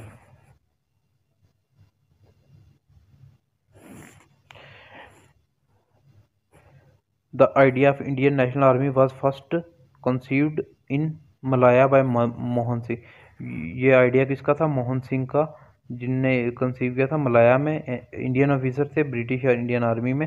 Japanese handed over the Indian prisoner of war to Mohan Singh. इन्होंने जापानीज ने प्रिजनर मोहन सिंह को दिया Indian prisoner who tried to recruit them into the Indian National Army जिन्होंने इन सबको इंडियन आर्मी में भर्ती किया end of nineteen forty two forty thousand man were ready to join in I N A forty thousand man ready हो गए Indian national army को join करने के लिए। वोट ब्रेक हुआ क्विट इंडिया मूवमेंट में giving fillip to the I N A मतलब यहाँ पे इस दौरान इन आई एन ए में मैक्सिमम भर्ती की गई इन 1942 और conference of India held in Tokyo conference of India Tokyo में हेल्ड की गई. India independence league was formed यहाँ पे इंडियन इंडिपेंडेंस लीग को फॉर्म किया गया एट बैंकॉक कॉन्फ्रेंस में में Raj Bihari Bose was elected as president of the league Raj Bihari Bose को इलेक्ट किया गया लीग का प्रेसिडेंट ठीक है? Subhash Chandra Bose escape to Berlin in 1941 वो बर्लिन को चले गए उन्नीस सौ इकतालीस में and set up Indian league there और इन्होंने वहाँ पे इंडियन लीग सेटअप की इन 1943 ही अराइव सिंगापुर ये सिंगापुर पहुँचे 1943 में. ही इन्होंने कांग्रेस छोड़ दी. He he had left Congress after having differences with Gandhi and found Forward Bloc in 1930 इनके डिफरेंसेस थे गांधी के साथ. इन्होंने कांग्रेस को छोड़ दिया. और फॉरवर्ड ब्लॉक बनाया 1939 में। तो in Singapore he was assisted by Raj Bihari Bose इनको असिस्ट किया राज बिहारी बोस ने। In October 1943 he सेप्ट a provisional Indian government इन्होंने provisional Indian government set up की 1943 में with headquarter at Rangoon and Singapore इसका हेड क्वार्टर कहाँ था? रंगून और सिंगापुर में। I N A trial INA P.K. Saigal, Shahnawaz and Gurbaksh Dillo were put to trial at the Redford. इनके ऊपर trial किया गया रेडफोर्ड पे defence of INA prisoner in the code were organized by बुल्ला बाई Desai Tej Bahadur Sapru Kailash Nath Katju Nehru and Asaf Ali मतलब इनके डिफेंस करने के लिए कौन कौन बंदे थे बुल्ला बाई देसाई तेज बहादुर सपरू कैलाश नाथ काटजू नेहरू और आसिफ अली, ये इनको, इनके पक्ष के वकील ही समझो थे। Muslim League also join the country wide protest Muslim League ने भी इसको ज्वाइन किया। Twelve November 1945 was celebrated as Indian National Army day इनको twenty twelve November nineteen forty five को मनाया गया आई एन ए डे ठीक है, फिर उसके बाद हमारे आया cabinet mission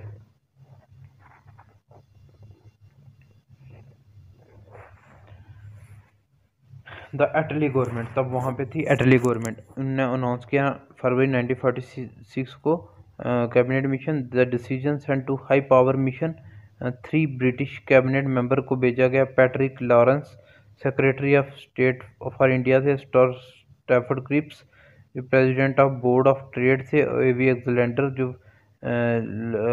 first lord of admiralty to India से to find out way means to negotiate and peaceful transfer power to India मतलब इंडियन से नेगोशिएट करने की और पीसफुल पावर को ट्रांसफ़र करें इंडिया को। The Britisher bid united a friendly India and there rejected demand for fully fledged Pakistan तब यहाँ पे क्या हुआ? उन इंडिया को तो पावर देने के लिए वो तैयार थे, पर इन्होंने यहाँ पे रिजेक्ट कर दी फुल फ्लैज पाकिस्तान की डिमांड को। The Congress demanded that the power should be transfer to one centre the minorities would demand walked out only after the British left the country, Congress and League differed on the issue nature of grouping Congress wanted grouping to be optional till the formation of Constituent Assembly but Jinnah was in favor of compulsory grouping. अब यहाँ पे था अंग्रेज़ चाहते थे कि group बनाए जाए मतलब एक अलग ग्रुप हो एक अलग पर कांग्रेस इसमें तैयार नहीं थी ग्रुप के लिए तो मुस्लिम लीग चाहती थी ग्रुपिंग होनी चाहिए। तो यहाँ पे ये बात भी नहीं बनी और ये भी कैबिनेट मिशन भी फेल हो गया। Jinnah direct action resolution Jinnah का direct action resolution he was alarmed by the election result constituent assembly जो कॉन्स्टिट्यूशन असेंबली के रिज़ल्ट से वो मतलब मतलब वो अलार्म हिल गया। कांग्रेस ने जीती 209 सीटें, दो सौ तिहत्तर सीटों से 209 सीटें जीती। ठीक है, अब यहाँ पे ग्रुपिंग पे तो नहीं मानी मुस्लिम लीग बट इलेक्शन जब हुए तो यहाँ पे कांग्रेस ने 209 सीटें जीती 273 में। तो यहाँ से मुस्लिम लीग को डर आ गया। Was afraid being eclipsed in the constitutional assembly अब उनको ये लगा कि हम तो हमारा तो पता ही साफ़ है कॉन्स्टिट्यूशन कॉन्स्टिट्यूंट असेंबली से on 29 July 1946 Jinnah withdraw his early acceptance to plan यहाँ पे जब उसने पहले मान लिया था प्लान बट यहाँ से इसने विड्रॉ कर लिया. As a direct action day उसको सिक्सटीन अगस्त 1946 को डायरेक्ट एक्शन डे बोला गया. कलकत्ता में Noakhali and Garhmukteshwar were storm centre यहाँ, ये स्ट्रॉम सेंटर से जिन्होंने celebrated Pakistan day on 27 March 1947 को जिन्होंने सेलिब्रेट किया पाकिस्तान डे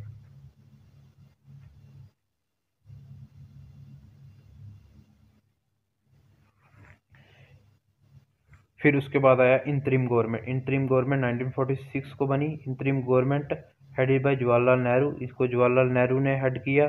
इनने स्वर्ण ली मतलब ओथ ली टू सितंबर 1946 को Muslim League refuse to join Muslim League ने रिफ्यूज़ किया ज्वाइन को करना इनिशियली शुरुआत में Wavell persuaded League to join in October Wavell ने क्या किया? परसुएड किया लीग को मनाया और उनने ज्वाइन किया अक्टूबर 1946 में। Liaquat Ali Khan of Muslim League was made a finance minister इनको फाइनेंस मिनिस्टर बनाया गया।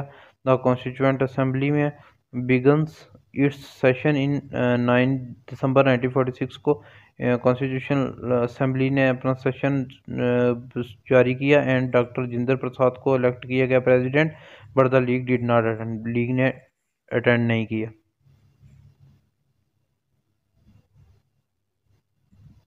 फिर एटले सेटलमेंट हुआ। 20 फरवरी 1947 को deadline of 30 June 1948 was fixed at transfer of power इस दिन को डिसाइड किया गया कि हम ट्रांसफ़र कर देंगे पावर इंडियन के हैंड में।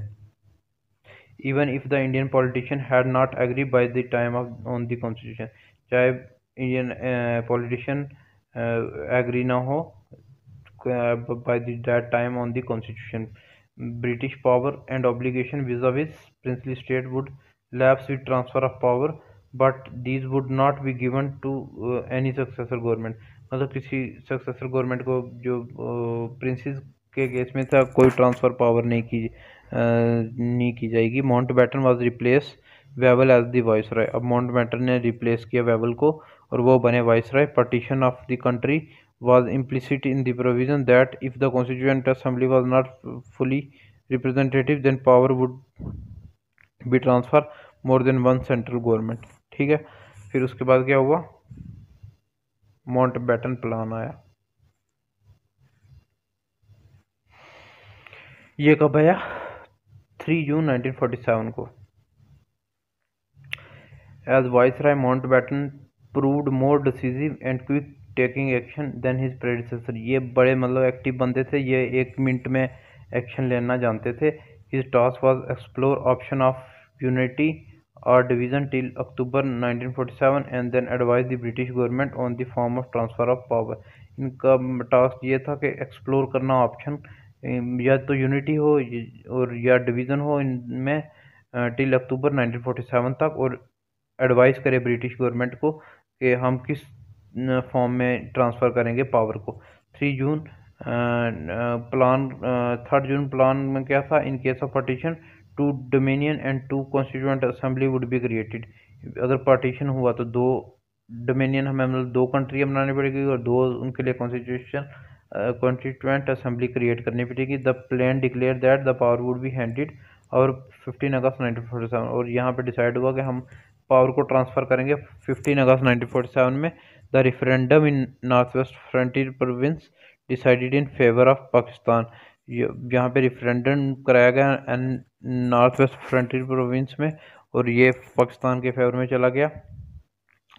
Princely state were given the option to join other two dominions और रिमेन इंडिपेंडेंट प्रिंसली स्टेट को मौका दिया गया कि आप इन दोनों में से किसी एक को ज्वाइन कर लो या खुद इंडिपेंडेंट रहो। Boundary commission was set up in if partition was effected boundary commission set up होगी अगर पार्टीशन हुआ तो। यह डिसाइड हुआ इसमें।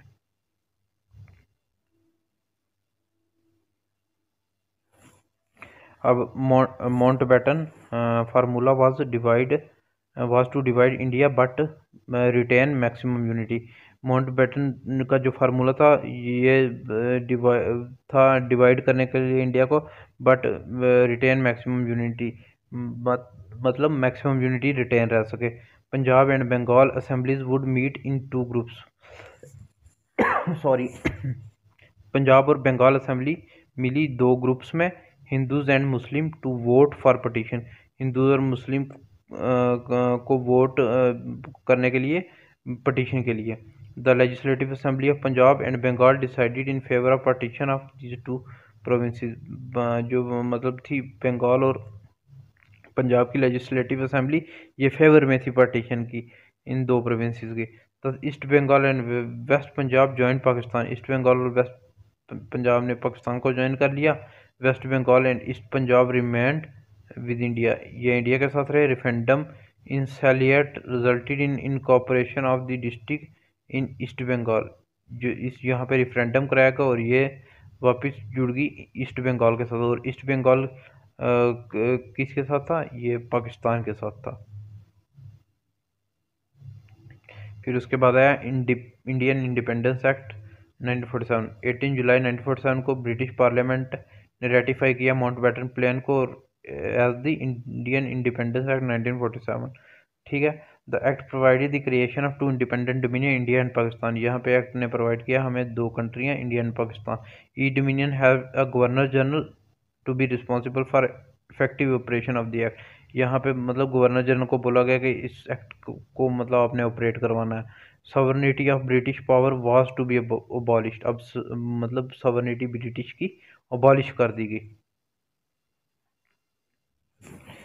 फिर यहाँ पे इंडिपेंडेंस ऑफ़ इंडिया पंद्रह अगस्त 1947 को इंडिया गॉट इंडिपेंडेंस इंडिया आज़ाद हो गया.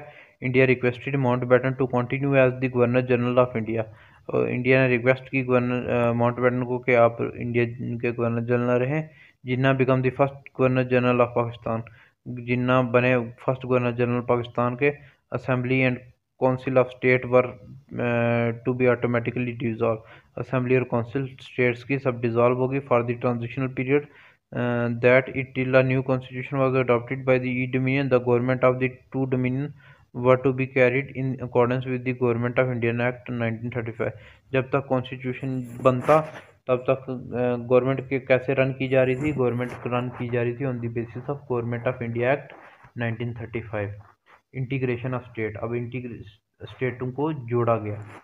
कैसे? वल्लभ भाई पटेल ने बहुत इंपॉर्टेंट रोल प्ले किया इंटीग्रेशन ऑफ़ स्टेट्स में except Kashmir, Hyderabad and Junagadh. All the states and all state sign an instrument of accession with Indian government सभी स्टेटों ने इंडियन गवर्नमेंट के साथ इंस्ट्रूमेंट ऑफ़ एक्सेशन साइन किया except Kashmir, Hyderabad and Junagadh. Nineteen on nineteen October nineteen forty seven Pakistan troop invaded Kashmir. Pakistan troops ने क्या किया? Invade किया कश्मीर में। And in the crisis Maharaja of Kashmir ceded to the union Indian union इस case में क्या किया? महाराजा ने इंस्ट्रूमेंट ऑफ़ एसोसिएशन साइन कर लिया इंडियन गवर्नमेंट के साथ।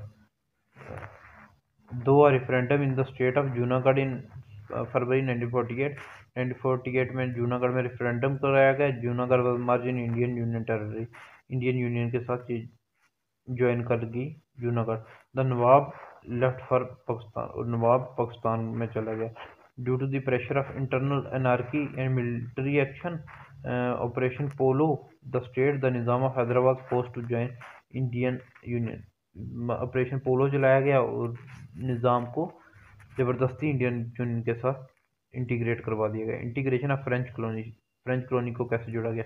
Pondicherry Chandranagar Mahe Karaikal and Yanam were integrate at the end of 1954 ये 1954 को इंडिया के साथ ज्वाइन होगी। Integration of Portuguese colony Portuguese की कॉलोनी थी दादर एंड नगर हवेली, जो 1954 में इंडिया के साथ ज्वाइन हुई। गोवा एंड दामन एंड दीव जो कि 1961 में ज्वाइन हुई। और इसी के साथ हमारा ये इंडियन मॉडर्न हिस्ट्री का लेक्चर सीरीज़ कंप्लीट होती है, जो कि हम आपको एक ही वीडियो में करवाया गाइस इसकी हम पीडीएफ अपने टेलीग्राम चैनल पर डाल देंगे। अगर आपको ये चैनल अच्छा लगा हो तो प्लीज़ सब्सक्राइब शेयर कमेंट ज़रूर करें और अपनी दुआएँ हमें देते रहें। Best of luck thank you goodbye